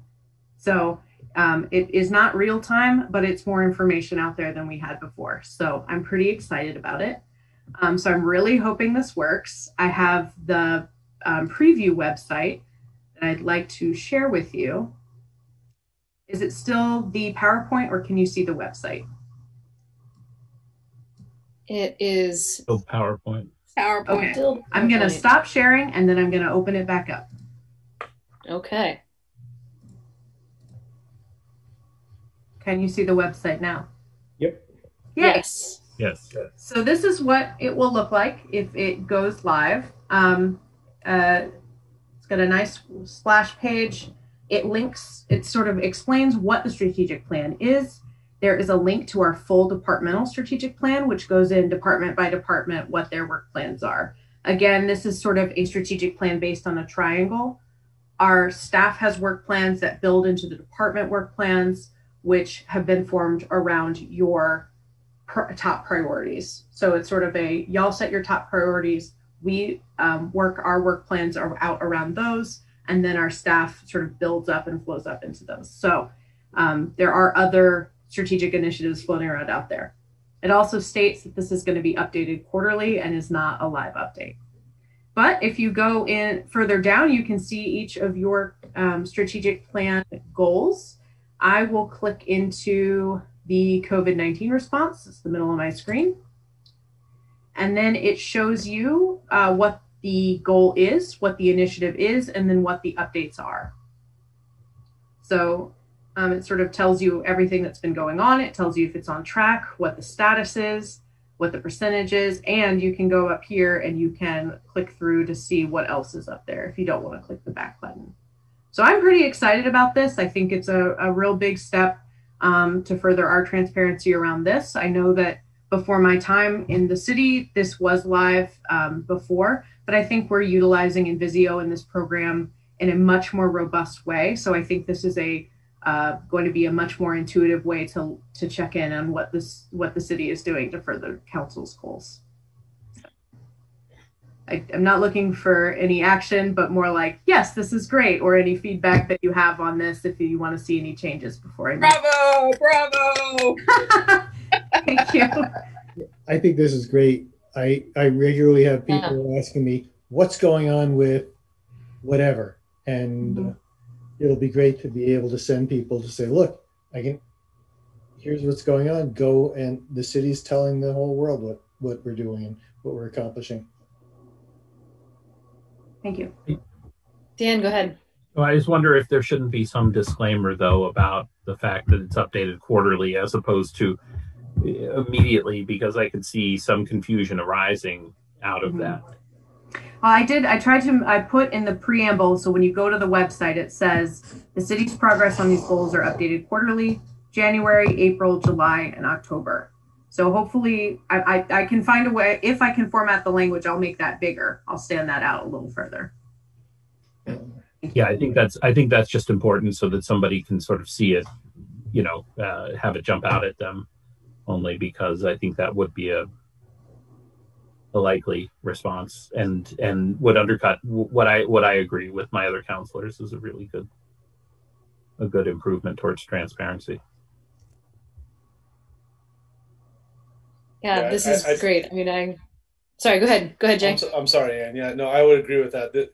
In terms of transparency, I think it's fantastic, and I think with um, information like information needs to be immediate on the web, and so on. If I would not worry about a preamble, or I can be.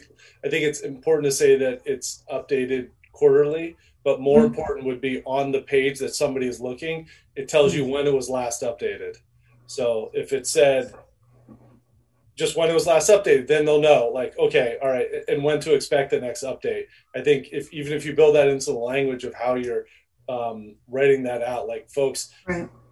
you don't even want to be one click away. But ultimately, I think this is really a great step around transparency, and and I certainly applaud the effort and and appreciate it. it the the site looks good and easy to navigate, and so um, I could really see use all of us being able to utilize it to be able to share information with folks in the city. So thank you. Great, thank you. That's good feedback. And um, I will mess around with the widgets to see if I can get the date to pop up on the updates section. So I appreciate that. Yeah, I, I find this uh, uh, pretty satisfying, pretty encouraging. Um, it's uh, it's been a, a, goal of mine anyway for a long time to have more data available from the city and and um, you know while this is not necessarily like community metrics or whatever it's still like putting out there um, how we're doing in terms of progress on our goals. So um, that is fabulous. Um, other other thoughts or comments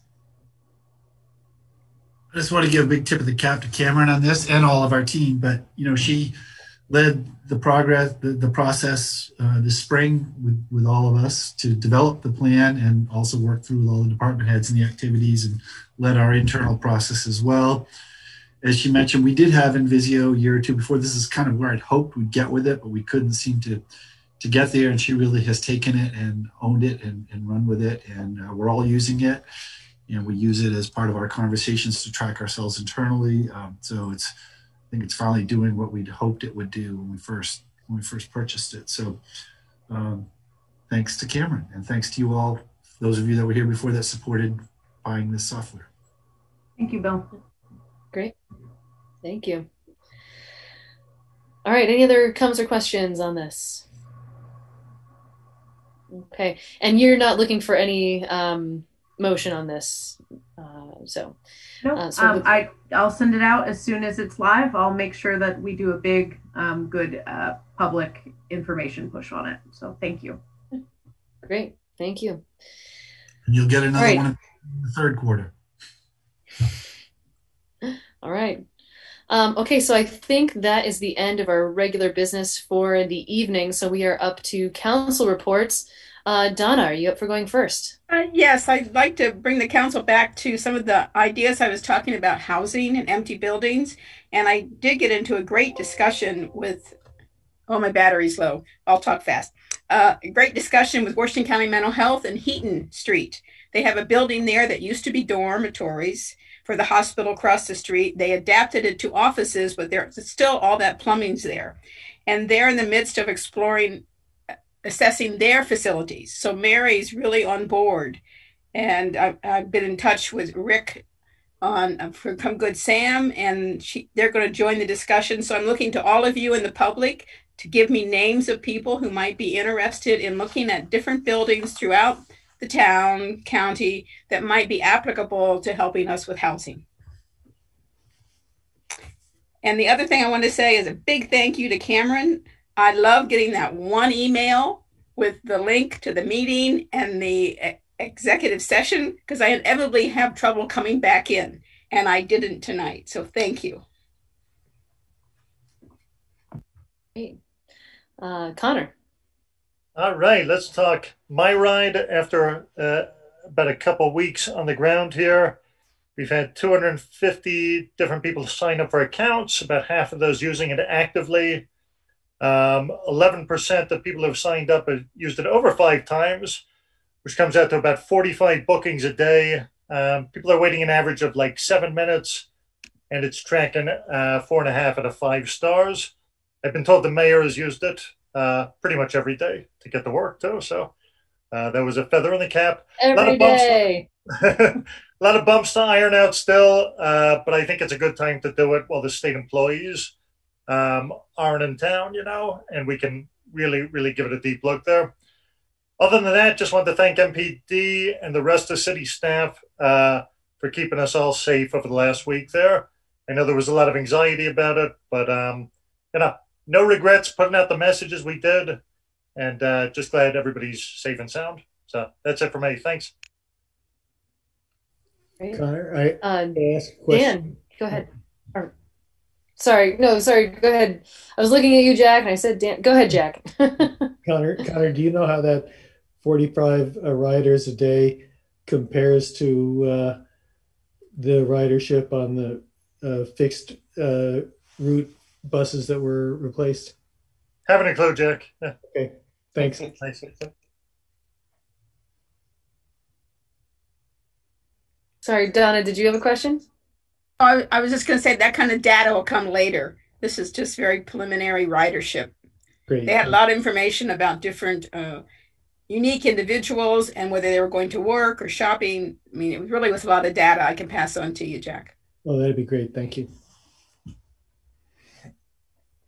All right, uh, Jay.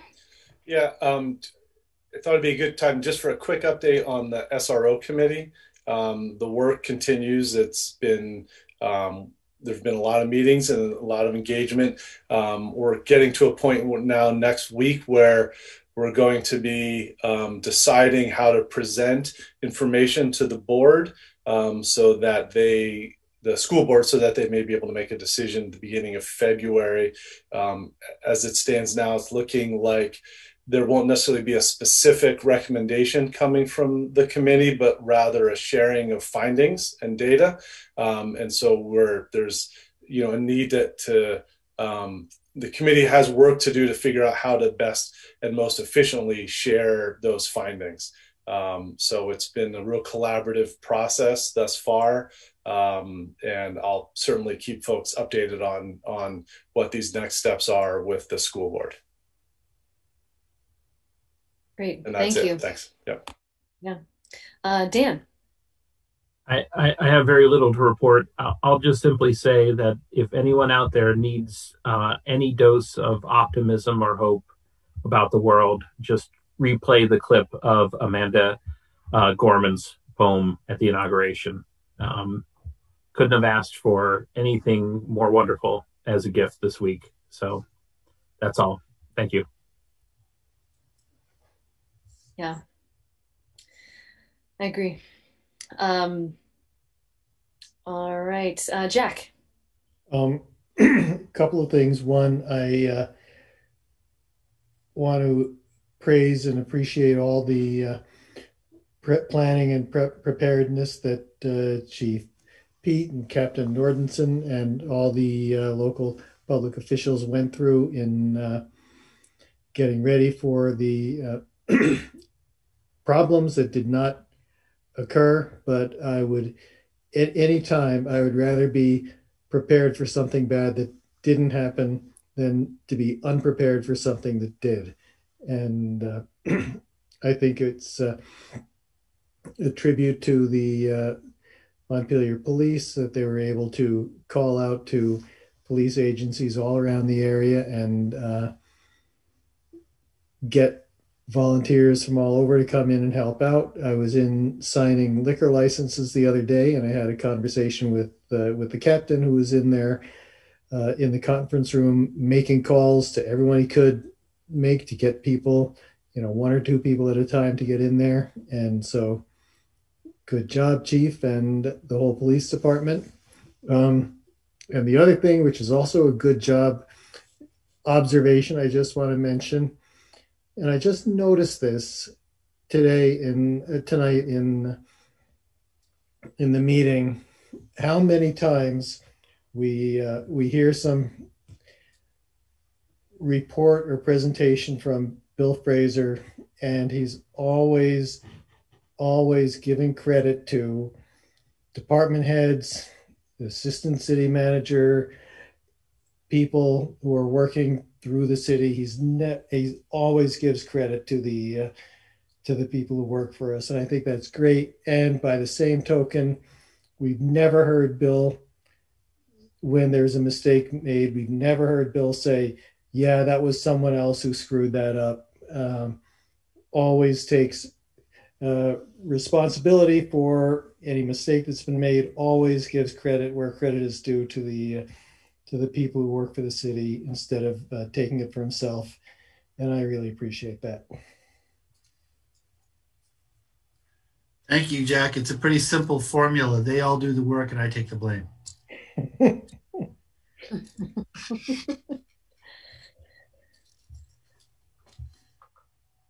Well, thank you. And I'm, I'm, yeah, yeah, fair enough. Um, all right, uh, Dan. No, uh, Lauren. Sorry. Um, only thing I just wanted to raise, um, it, it came up earlier, but really do want to think about, and maybe it's the lobbying committee getting together. I don't know the right process, um, but I know we are, um, you know, at a point where I know I've been like feeling very Pollyannish with like federal stimulus money, but now that it actually looks like there are real opportunities there, you know, how are we ready with our list? I've been having conversations with some of the federal delegation folks, and I mean, they are like, give us projects, give us specific ideas for things. I'm thinking of like our CSO, District Heat. Like, are there things that we could be um, putting in right now? We've, there's a template they're asking for um, specific projects. Like, apparently, they're doing more like earmarky kind of things this year, and we certainly have some very well positioned um, senators. So I, I think I would love to any way I can be helpful in that process, or I want to make sure that we're, we're doing that work and positioning ourselves as best as possible to take advantage. Um, so there's like the short term COVID response stimulus, there's budget reconciliation upcoming opportunity. There's the fiscal year 22 budget that um, so it sounds like there's like a series of opportunities and then a more um, stimulus infrastructure um, later this spring. So I think, you know, we could do some work soon and then also kind of ongoing work on this, but definitely want to make sure that we're just ready and putting ideas forward so we can take advantage to for whatever whatever we can. What we've got it couldn't be um, in a better position with our with our senators. Um, and then just in that vein as well, um, now that the newest budget estimates and stuff from our uh, state level, it could be good time to think about when we would reinvite our um, state our state senators and reps to revisit with us um, and and talk about what they're seeing and you know how to stay engaged with them um, for you know making the best for the city as well. So just getting that back on the agenda. Thanks. Yeah, thank you. Um, I don't have um, very much for an update today. Just um, what a delight and breath of fresh air the inauguration was. Um, that was huh, really fantastic. Um, and uh, I guess I'll leave it there. Uh, for me, um, John. Oh, I don't know if I really have anything to say other than um, um, the filing deadline for candidates is going to be five o'clock on Monday. And as soon as we get that in, there's a 5:30 meeting of the Board of Civil Authority. Got to send out a link uh, to draw lots for that. Still not sure how that's going to work virtually, but we'll figure something out. As far as you know, lots for order on the ballot. Sorry, and then they're off to the printer Monday night. So uh, we'll see. We're doing this whole thing soup to nuts mail in in a compressed um, compressed time frame. Hopefully, uh, hopefully it'll go well. yeah. Okay, uh, Bill. Thank you. Um, so I also would like to thank the chief, uh, Chief Peete, and whole MPD, and also uh, State Police, Capitol Police, and all the neighboring police people. I actually was on a VLCT meeting today. I got to thank Commissioner Schirling directly um, for coming, you know, for, for working very hard to protect us. Uh, as it as we said, uh, turned out that um, not nothing happened, but that doesn't mean it couldn't have if perhaps if people had seen us unprepared. Uh, and there was a lot of uh, you know leadership from our police department, which I appreciated uh, to pull together the teams and uh, so all to all involved and to the community who who paid attention. And uh, we had a great sort of uh, robust group here uh, in front making pancakes uh, those wild antifa people feeding people.